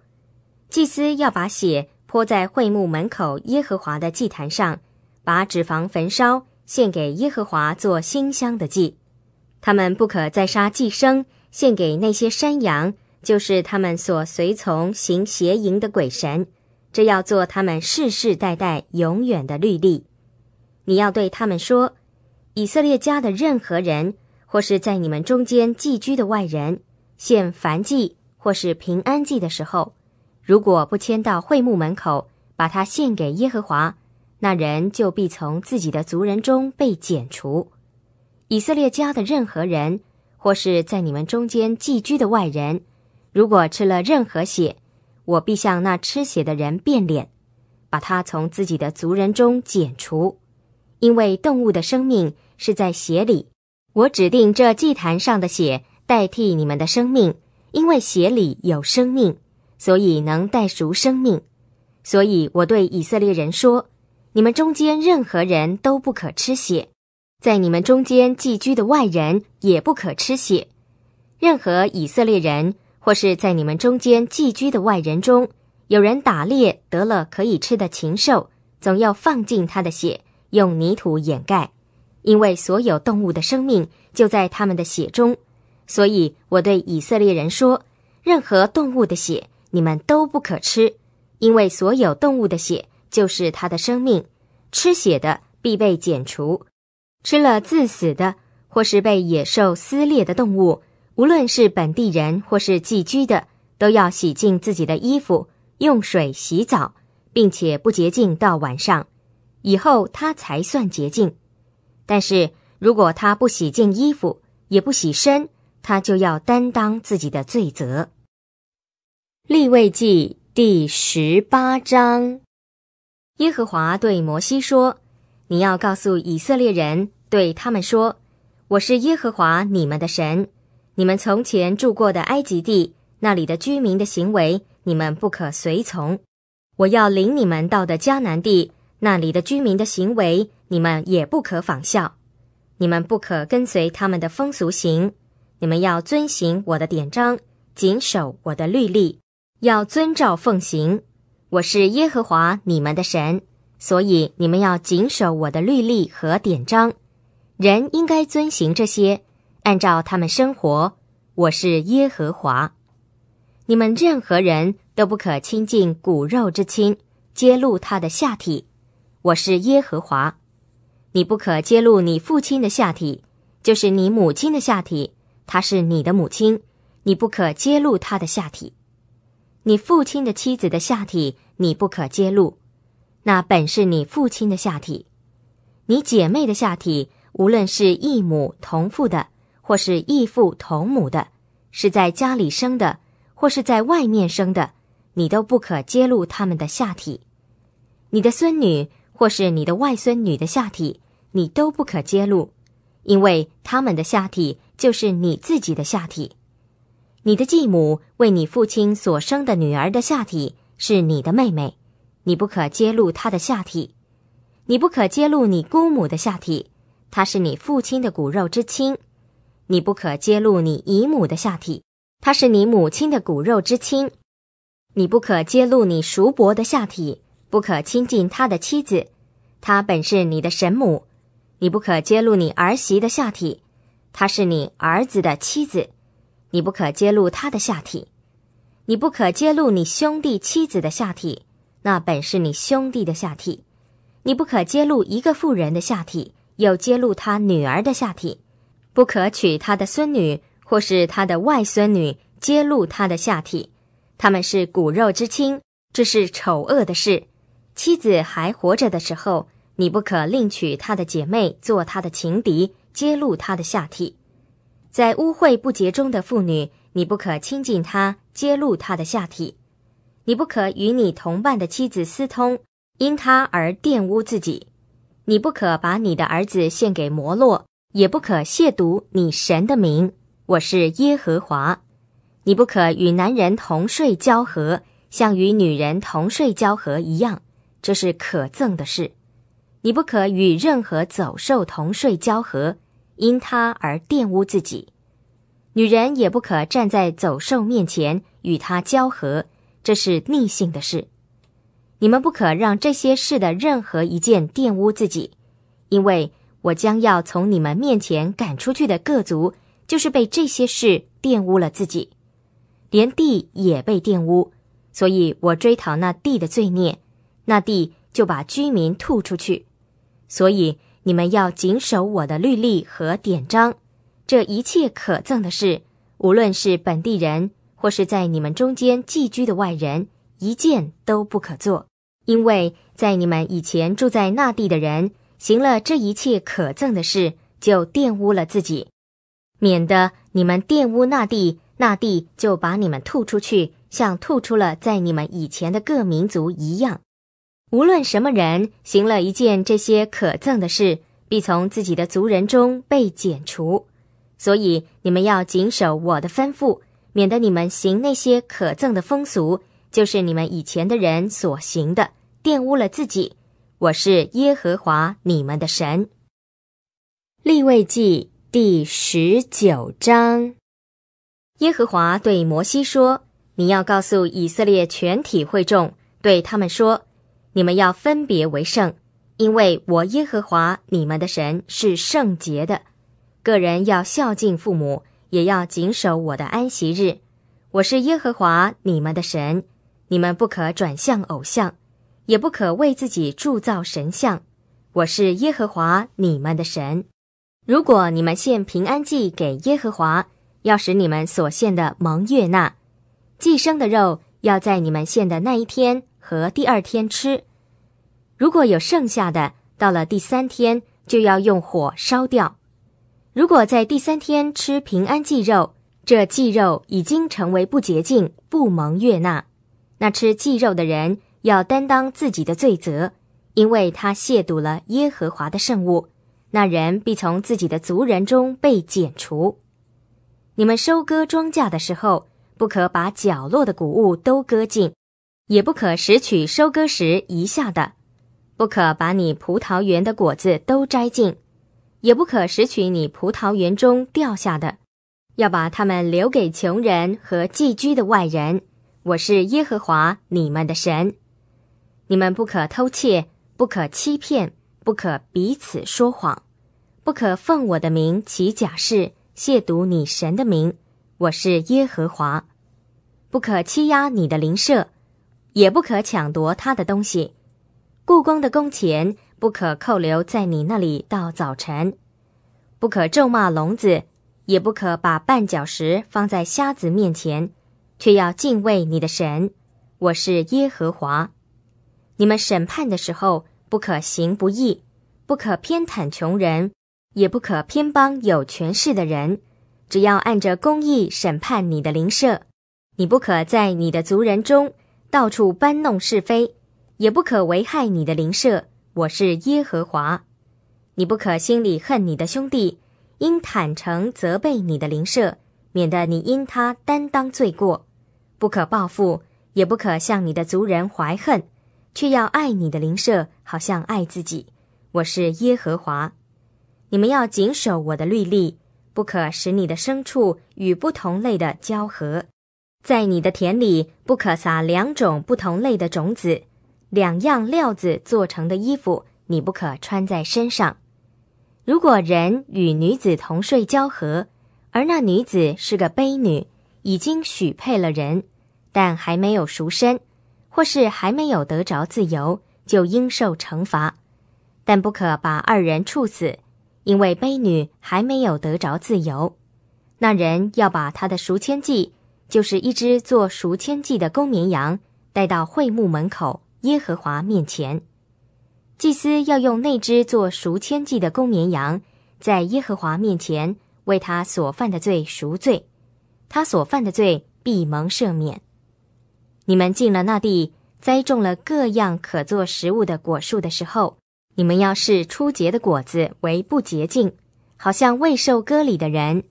头三年的果子你们不可以吃，第四年所结的一切果子。应分别为圣，是做称颂耶和华的供物。到了第五年，你们才吃树上所结的果子。你们这样做，你们的生产就必增加。我是耶和华你们的神。你们不可吃带血的东西，不可占卜，不可算命，不可剃两边的头发，胡须的周围也不可刮掉，不可为死人的缘故割伤你们的身体。也不可在你们的身上刺花纹，我是耶和华。不可入没你的女儿，使她做娼妓，免得这地淫乱，充满丑恶的事。你们要谨守我的安息日，敬畏我的圣所。我是耶和华。你们不可转向那些交鬼的和行法术的，不可求问他们，玷污自己。我是耶和华你们的神。在白发的人面前，你要起立，要尊敬老年人，又要敬畏你的神。我是耶和华。如果有外人在你们的地方与你们一起寄居，你们不可欺负他。与你们一起寄居的外人，要看他像你们中间的本地人一样。你要爱他，好像爱自己，因为你们在埃及地也曾做过寄居的人。我是耶和华你们的神。你们审判的时候，在度量衡上都不可偏差，要用公正的天平、公正的砝码。公正的升斗，公正的容器。我是耶和华你们的神，就是曾把你们从埃及地领出来的那位。你们要谨守遵行我的一切律例和一切典章。我是耶和华。立位记第二十章，耶和华对摩西说：“你要对以色列人说，任何以色列人。”或是在以色列中寄居的外人，把自己的儿子献给摩洛，必要把他处死；本地的人要用石头把他打死。我也要向那人变脸，把他从他的族人中剪除，因为他把自己的儿子献给摩洛，玷污了我的圣所，亵渎了我的圣名。如果有人把他的儿子献给摩洛，而本地的人眼目不看，不把他处死。我就要向那人和他的家族变脸，把他和所有跟随他与摩洛行邪淫的人都从他们的族人中剪除。如果有人转向交鬼的和行法术的，随从他们行淫，我必向那人变脸，把他从他的族人中剪除。所以你们要使自己成为圣洁，你们要分别为圣，因为我是耶和华你们的神。你们要谨守遵行我的律例，我是使你们分别为圣的耶和华。咒骂自己父母的，必要把他处死；他咒骂自己的父母，必须承担流血的罪责。如果有人与别人的妻子通奸，就是与邻舍的妻子通奸，奸夫和淫妇都要处死。如果有人与父亲的妻子同睡，就是揭露了他父亲的下体，必要把他们二人处死，他们必须承担流血的罪责。如果有人与儿媳同睡，必要把他们二人处死，他们犯了乱伦的罪，必须承担流血的罪责。如果有人与男人同睡，像与女人同睡一样，他们二人行了可憎的事，必要把他们处死。他们必须承担流血的罪责。如果有人娶妻又娶岳母，就是行了丑恶的事，要把他们三人用火烧死，好使你们中间不再有丑恶的事。如果有人与走兽同睡，必要把他处死，也要杀死那走兽。女人若是亲近任何走兽与他交合，你们要杀了那女人和走兽。必要把他们处死，他们必须承担流血的罪责。如果有人娶了自己的姐妹，无论是异母同父的，或是异父同母的，他见了他的下体，他也见了他的下体，这是可耻的事。他们二人必要从自己族人的眼前被剪除。他揭露了自己姐妹的下体，必须担当自己的罪孽。如果有人与患血漏病的妇人同睡，揭露了他的下体，就揭露了他的血缘；妇人也揭露了他自己的血缘，他们二人必要从自己的族人中被剪除。你不可揭露姨母或是姑母的下体，因为这是揭露了骨肉之亲的下体。这样做的人要担当自己的罪孽。如果有人与叔伯的妻子同睡，就是揭露了叔伯的下体，这样做的人要担当自己的罪，他们必无子女而死。如果有人娶了兄弟的妻子为妻，这是污秽的事，揭露了自己兄弟的下体，这样做的人必无子女。所以你们要谨守遵行我的一切律例和一切典章，免得我将要领你们进去居住的那地，把你们吐出来。我从你们面前逐出的各民族，你们不可随从他们的风俗，因为他们行了这一切事，所以我厌恶他们。但我对你们说过，你们要承受他们的土地，我要把这流奶与蜜之地赐给你们做产业。我是耶和华你们的神，把你们从万民中分别出来，所以你们要把洁净的和不洁净的走兽，洁净的和不洁净的飞禽分别出来。你们不可因着那些我为你们分别出来不洁净的走兽、飞禽或任何在地上爬行的动物，使自己成为可憎恶的。你们要归我为圣，因为我耶和华是圣洁的。我把你们从万民中分别出来，使你们归我。无论男女，是交鬼的，或是行法术的，必要把他们处死，要用石头打死他们。他们必须承担流血的罪责。立位记第二十一章，耶和华对摩西说：“你要告诉亚伦子孙做祭司的，对他们说。”祭司不可在自己的族人中因死人玷污自己，除非骨肉至亲，例如父母、儿女、兄弟，或是仍是处女、未曾出嫁的姐妹等至亲，祭司才可以玷污自己。祭司不可为了姻亲而玷污、亵渎自己的圣职。祭司不可剃光头发，胡须的周围不可剃掉，也不可纹身。他们要成为圣。归向他们的神，不可亵渎他们神的名，因为他们奉献耶和华的火祭，他们神的食物，所以他们要成为圣。祭司不可娶被玷入了的妓女为妻，也不可娶被丈夫离弃的女人为妻，因为祭司是归他的神为圣的，所以你要使他分别为圣，因为他把食物献给你的神，你要以他为圣。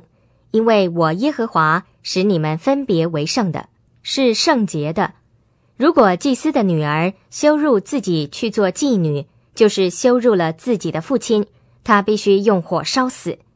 在兄弟中做大祭司的，头上倒了膏油，又受了圣职，得以穿着圣衣，就不可披头散发，也不可撕裂衣服，不可走进死尸，也不可为了父母玷污自己。他不可走出圣所，也不可亵渎他神的圣所，因为他神高立了他，使他分别为圣。我是耶和华。他要娶处女为妻，寡妇、被休的妇人、受玷入的妓女，他都不可以娶。他只可以娶自己族人中的处女为妻，不可在自己的族人中羞辱他的后裔，因为我是使他们分别为圣的耶和华。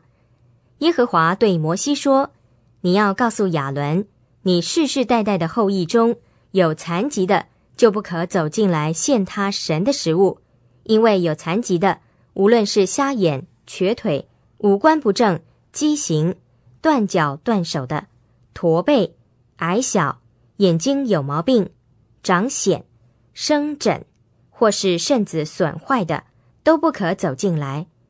亚伦祭司的后裔中。”有残疾的都不可上前来献耶和华的火祭，他既有残疾，就不可上前来献他的神的食物。他神的食物，无论是至圣的或是圣的，他都可以吃。只因他有残疾，他就不可进到幔子前，也不可上前到我的祭坛那里，免得亵渎我的圣所。我是使他们分别为圣的耶和华。于是摩西告诉亚伦和亚伦的儿子以及所有以色列人，《立位记》第二十二章。耶和华对摩西说：“你要告诉亚伦和他的儿子，叫他们谨慎处理以色列人分别为圣归给我的圣物，免得他们亵渎我的圣名。我是耶和华。你要对他们说：你们世世代代的后裔中。”若是不洁净，却接近以色列人分别为圣归耶和华的圣物，那人必从我面前被剪除。我是耶和华。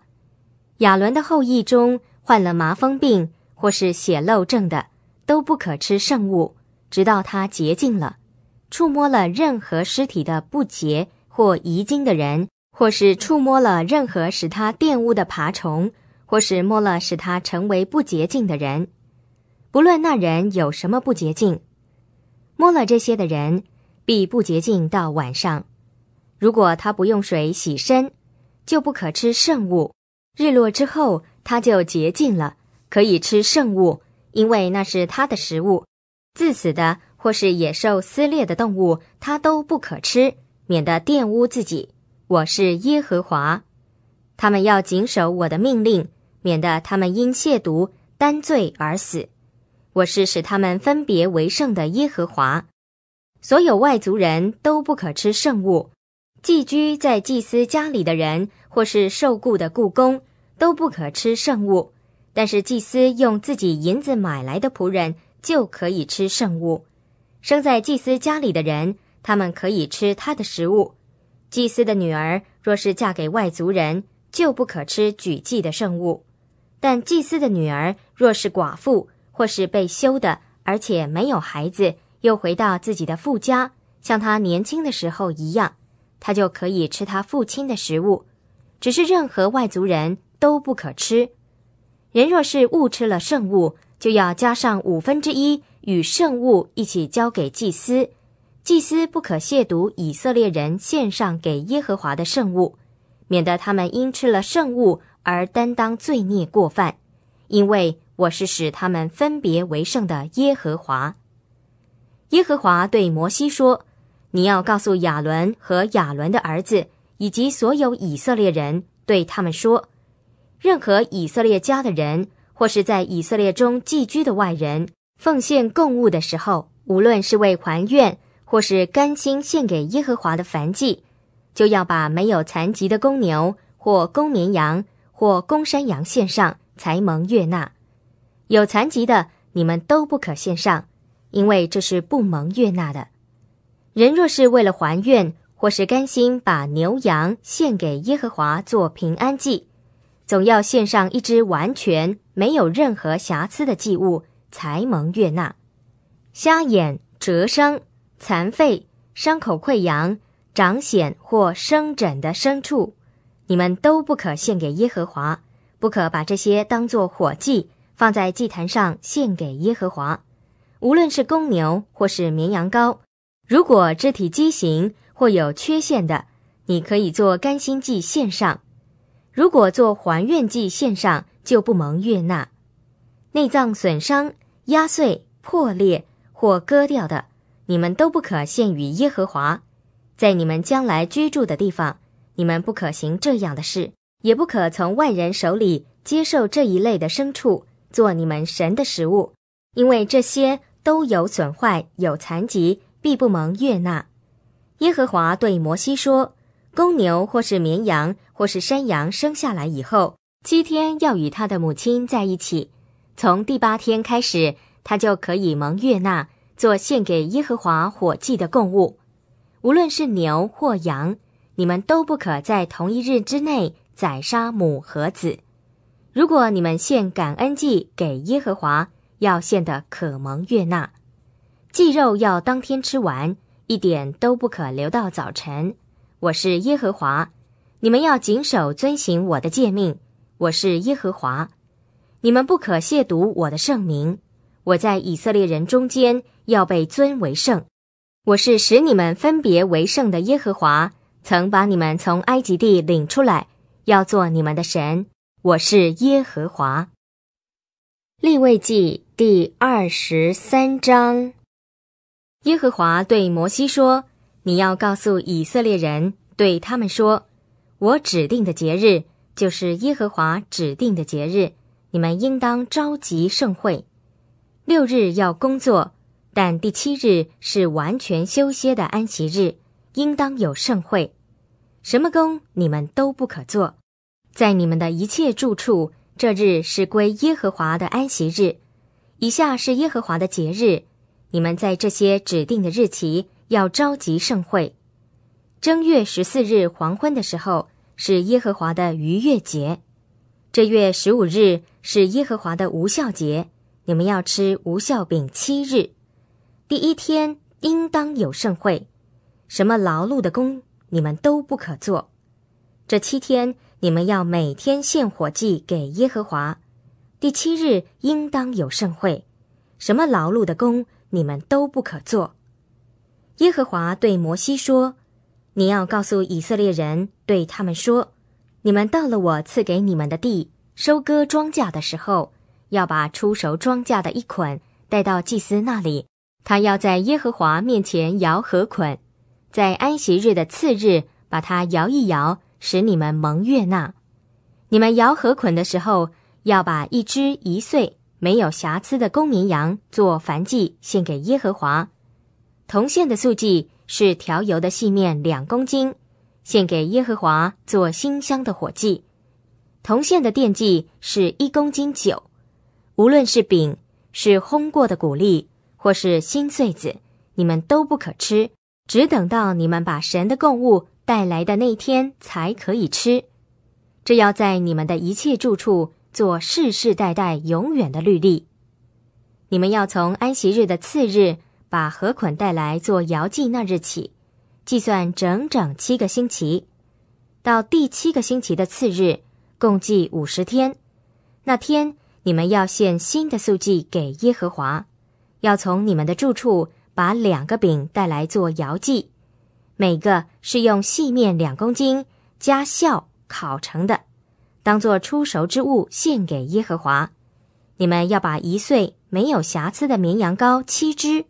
公牛犊一头，公绵羊两只，做献给耶和华的燔祭。他们和同献的素祭、奠祭是献给耶和华做馨香的火祭。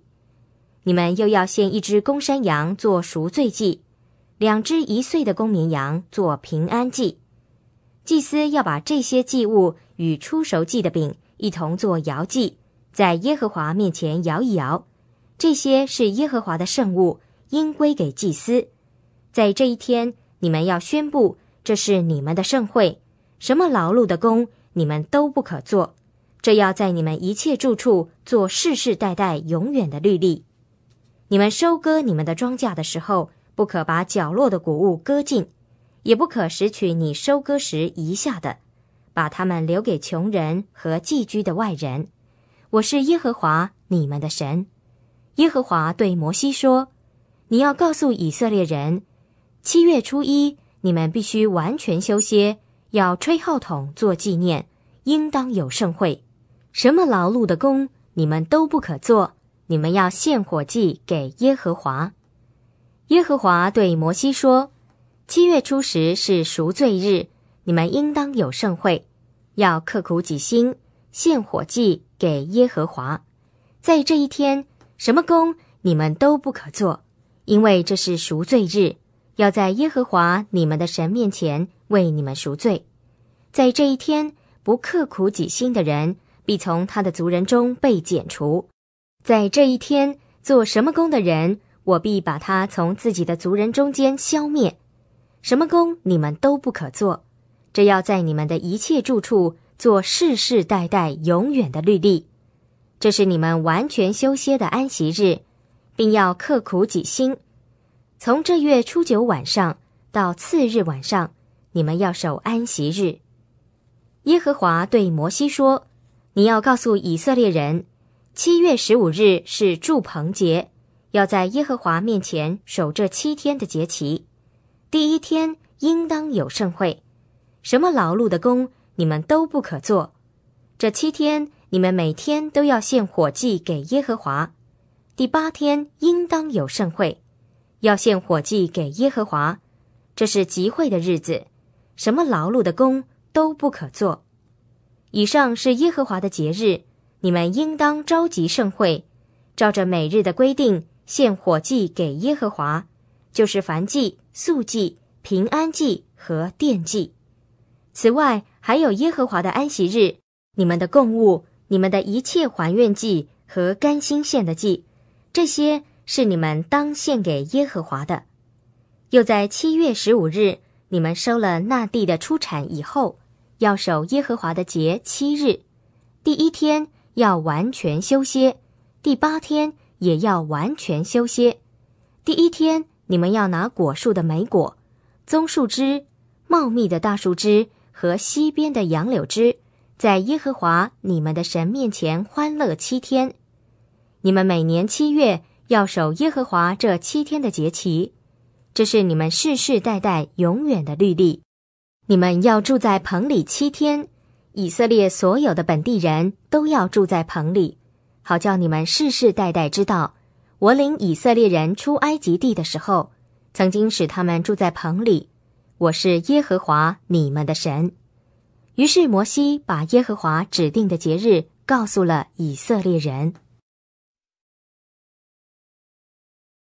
立位记第二十四章，耶和华对摩西说：“你要吩咐以色列人，把点灯用的榨成的纯净橄榄油拿来给你。”使灯火常燃，在会幕中法柜的幔子外，亚伦要使这灯在耶和华面前通宵达旦地常燃。这是你们世世代代永远的律例。亚伦要不断地在耶和华面前整理纯金灯台上的灯。你要取细面烤成十二个饼，每一个饼用两公斤细面。你要把饼摆列成两排。每排六个，放在耶和华面前金金的桌子上，把纯乳香放在每排饼上，象征这些饼做献给耶和华的火祭。每一个安息日，亚伦都要把饼摆在耶和华面前，不可间断。这是以色列人永远的约。这饼要归给亚伦和他的子孙，他们要在圣洁的地方吃，因为这是至圣的。在献给耶和华的火祭中，他永远的份。有一个以色列妇人的儿子，父亲是埃及人，在以色列人中间出入。这以色列妇人的儿子在营里和一个以色列人争吵，这以色列妇人的儿子亵渎耶和华的名，咒诅耶和华的名，人就把他带到摩西那里。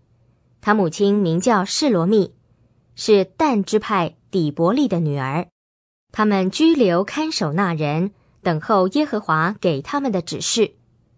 耶和华对摩西说：“把那咒诅圣名的人拉出营外，听见的人都按手在他头上，然后全体会众要扔石头打死他。你要告诉以色列人，咒诅神的必担当自己的罪，亵渎耶和华圣名的人必被处死。”全体会众要扔石头打他，不论是寄居的外人或是本地人，如果亵渎圣名，必被处死；打死人的必被处死；打死牲畜的，必要赔偿牲畜，以命偿命。如果有人使他的同伴伤残，他怎样待人，人也必怎样待他，以伤还伤，以眼还眼，以牙还牙。他怎样使人伤残，人也必怎样使他伤残。打死牲畜的，必要赔偿牲畜；打死人的，必被处死。无论是寄居的或是本地人，你们都应一律对待，因为我是耶和华你们的神。于是摩西告诉了以色列人，他们就把那咒诅圣名的人带出营外，扔石头打死他。以色列人遵行了耶和华给摩西的吩咐。立位记第二十五章，耶和华在西奈山对摩西说：“你要告诉以色列人，对他们说：你们到了我赐给你们的那地以后，地要守耶和华的安息。六年之内，你要耕种田地；六年之内，你要修剪葡萄园。”收藏地的出产，但是第七年地要完全休歇，享受耶和华的安息。你不可耕种田地，也不可修剪葡萄园。你收割以后自然生长的庄稼，你不可收割；没有修剪的葡萄树果子，你也不可采摘。这一年地要完全休歇。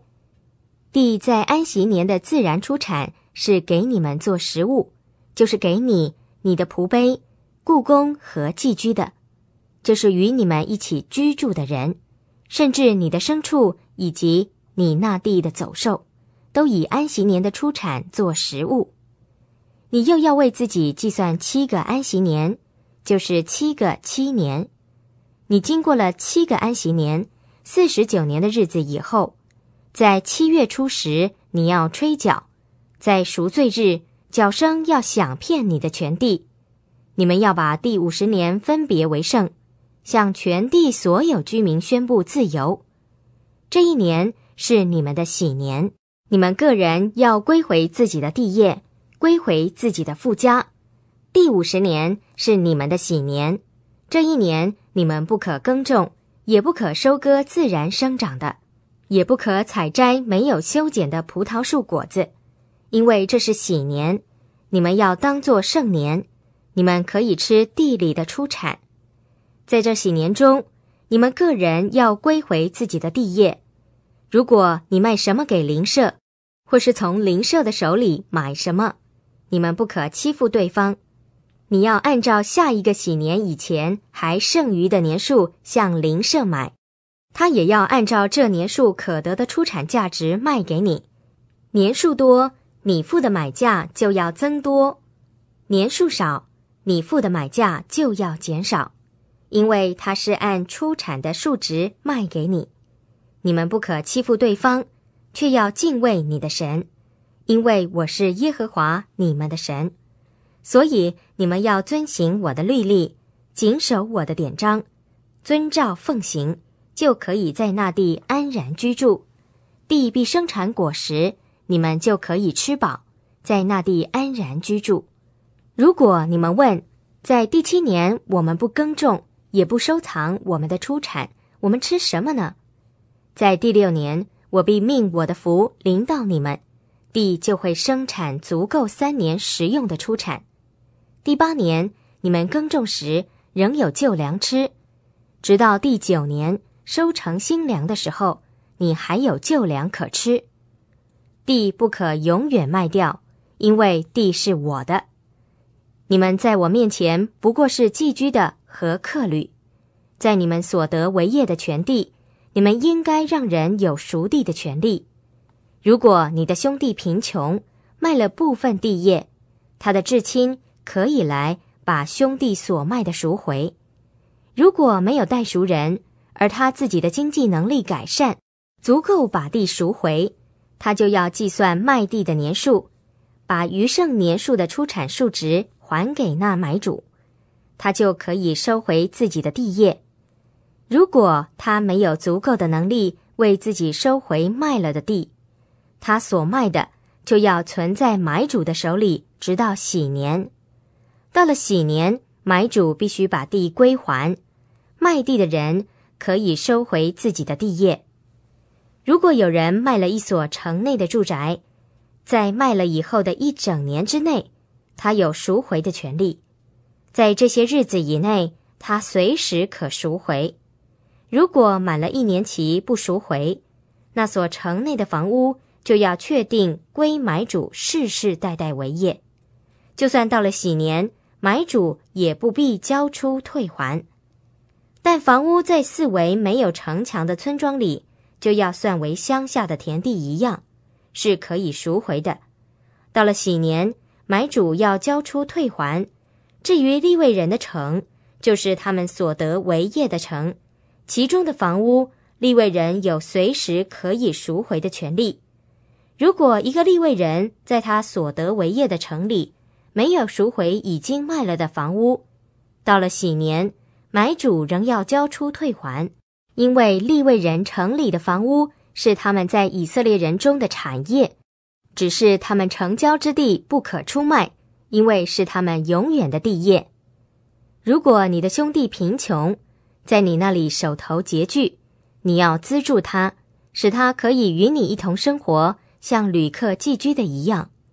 你不可向他收取高利，却要敬畏你的神，使你的兄弟可以与你一同生活。你借钱给他，不可向他取利息；借粮给他，也不可要他多还。我是耶和华你们的神，曾经把你们从埃及地领出来，要把迦南地赐给你们，而且要做你们的神。你的兄弟在你那里若是贫穷了，卖身给你，你不可逼他做奴仆的工作。他在你那里要像故宫和寄居的一样，他要服侍你直到喜年。到了喜年，他和他的儿女要离开你，归回他本家，归回自己祖宗的地业，因为他们是我的仆人，是我从埃及地领出来的，他们不可以卖作奴仆。你不可严严地辖制他，却要敬畏你的神。至于你需要的仆卑，可以来自你们四围的列国，你们可以从他们中间购买奴卑。你们也可以从那些与你们住在一起的外人的儿女中，或是从他们的家族中，就是那些与你们在一起，在你们境内所生的，购买奴卑。他们要做你们的产业。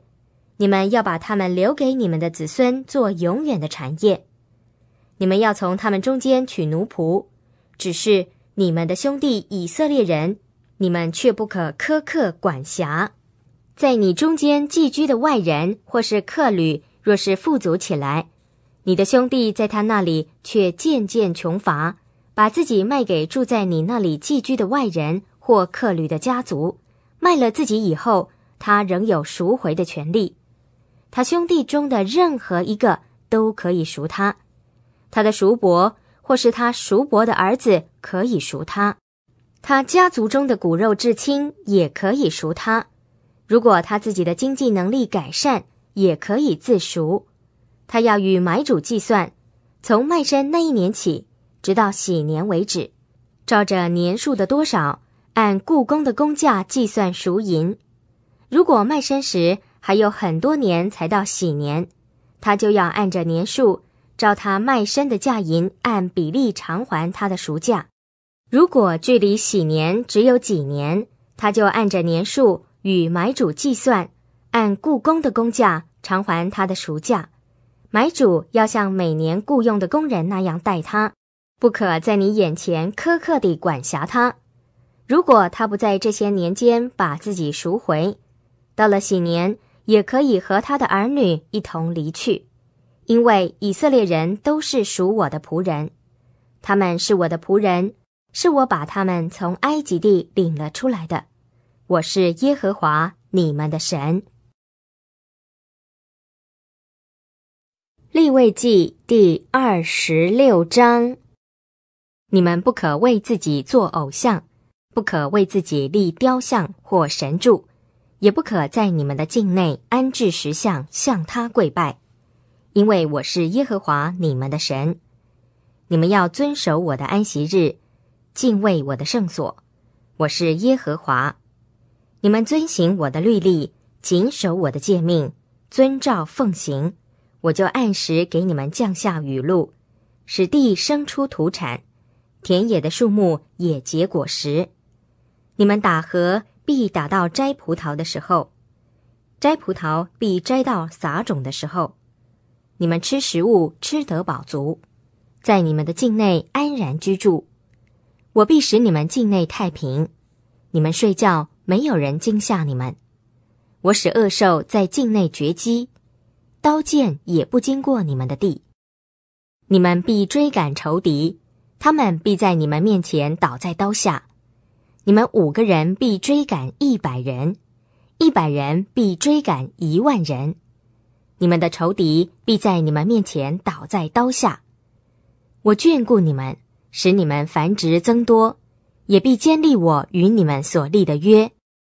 你们吃久藏的旧粮，要挪出旧粮，腾空给新粮。我必在你们中间安置我的居所，我的心也不厌弃你们。我要在你们中间行走，我要做你们的神，你们要做我的子民。我是耶和华你们的神，曾经把你们从埃及地领出来，使你们不再做他们的奴仆。我折断了你们所负的恶，使你们挺身昂首地行走。但如果你们不听从我，不遵行这一切诫命，如果你们弃绝我的律例，你们的心厌弃我的典章，不遵行我的一切诫命，违背我的约，我就要这样待你们。我必命惊慌临到你们，痨病、热病，使你们眼目昏花，心灵憔悴。你们必突然撒种，因为你们的仇敌必吃尽你们的出产。我向你们变脸，你们就败在仇敌面前。恨恶你们的要管辖你们，虽然没有人追赶，你们仍然逃跑。经过这些以后，如果你们还不听从我，我就要因你们的罪加重七倍管教你们。我必粉碎你们夸耀的力量，我要使你们的天像铁，你们的地像铜，你们的气力突然用尽，你们的地不出产，境内的树也不结果实。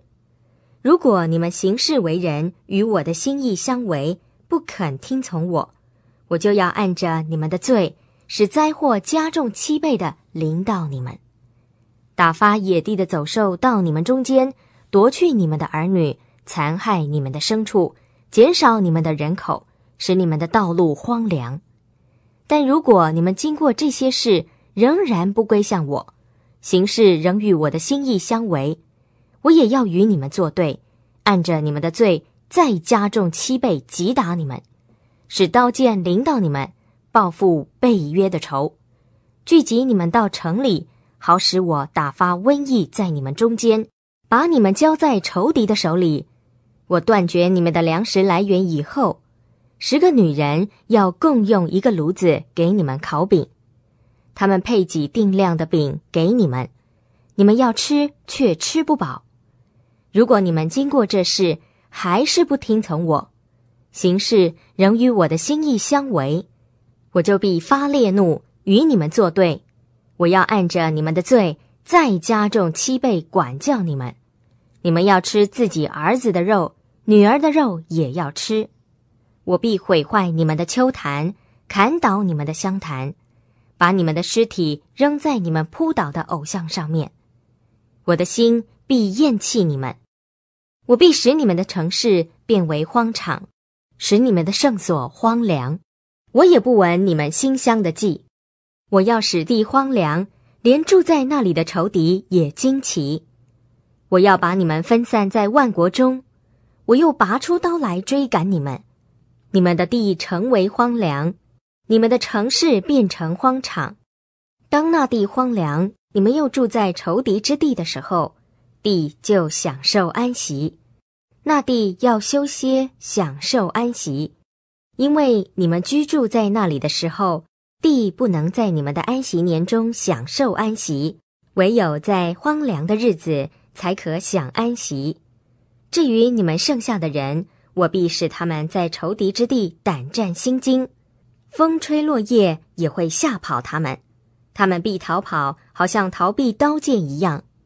虽然无人追赶，他们却跌倒；虽然无人追赶，他们却像面临刀剑，彼此撞跌。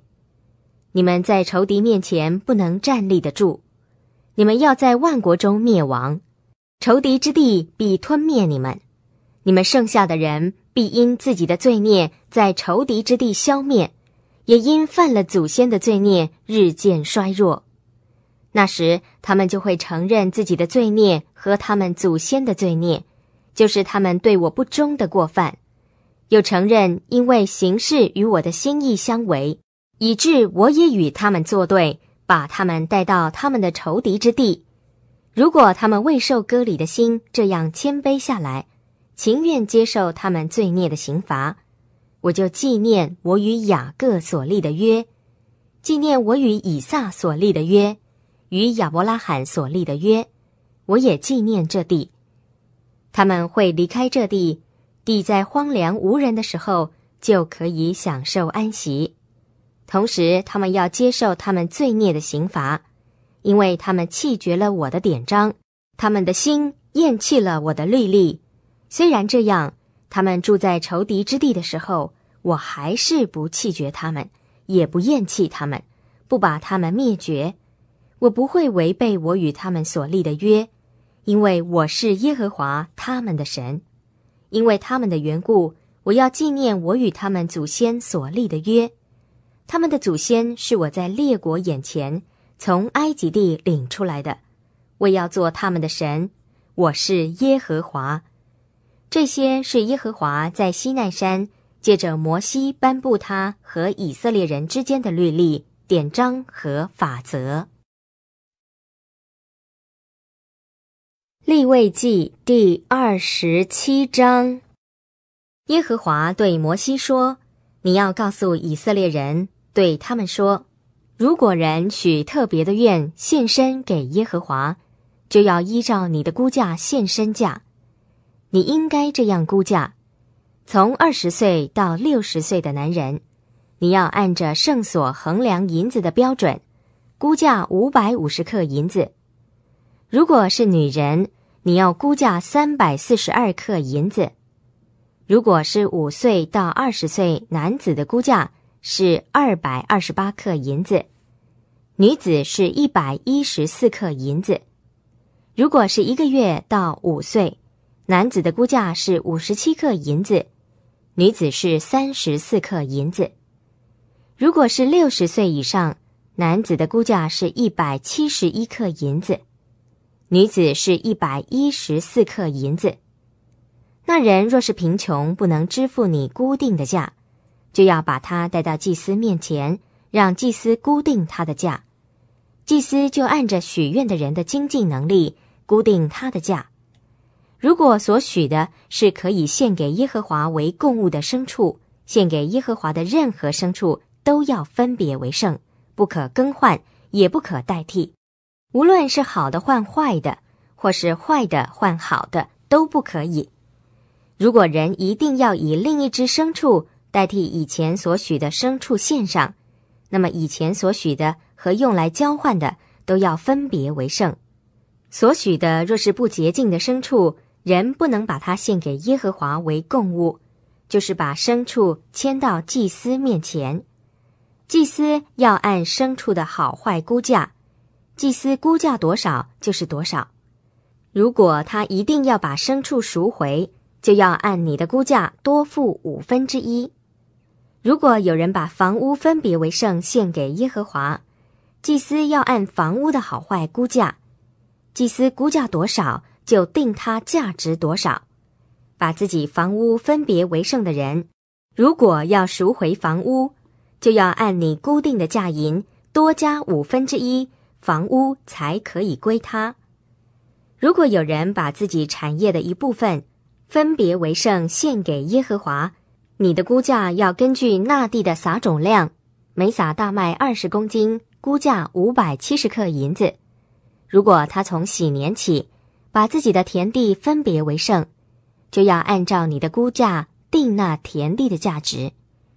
如果他在喜年以后把自己的田地分别为圣，祭司就要照着到下一个几年所剩余的年数给他计算价银，然后从你的估价减去这价银，把自己田地分别为圣的人，如果一定要赎回田地，就要按你的估价多付五分之一，田地才可以归他。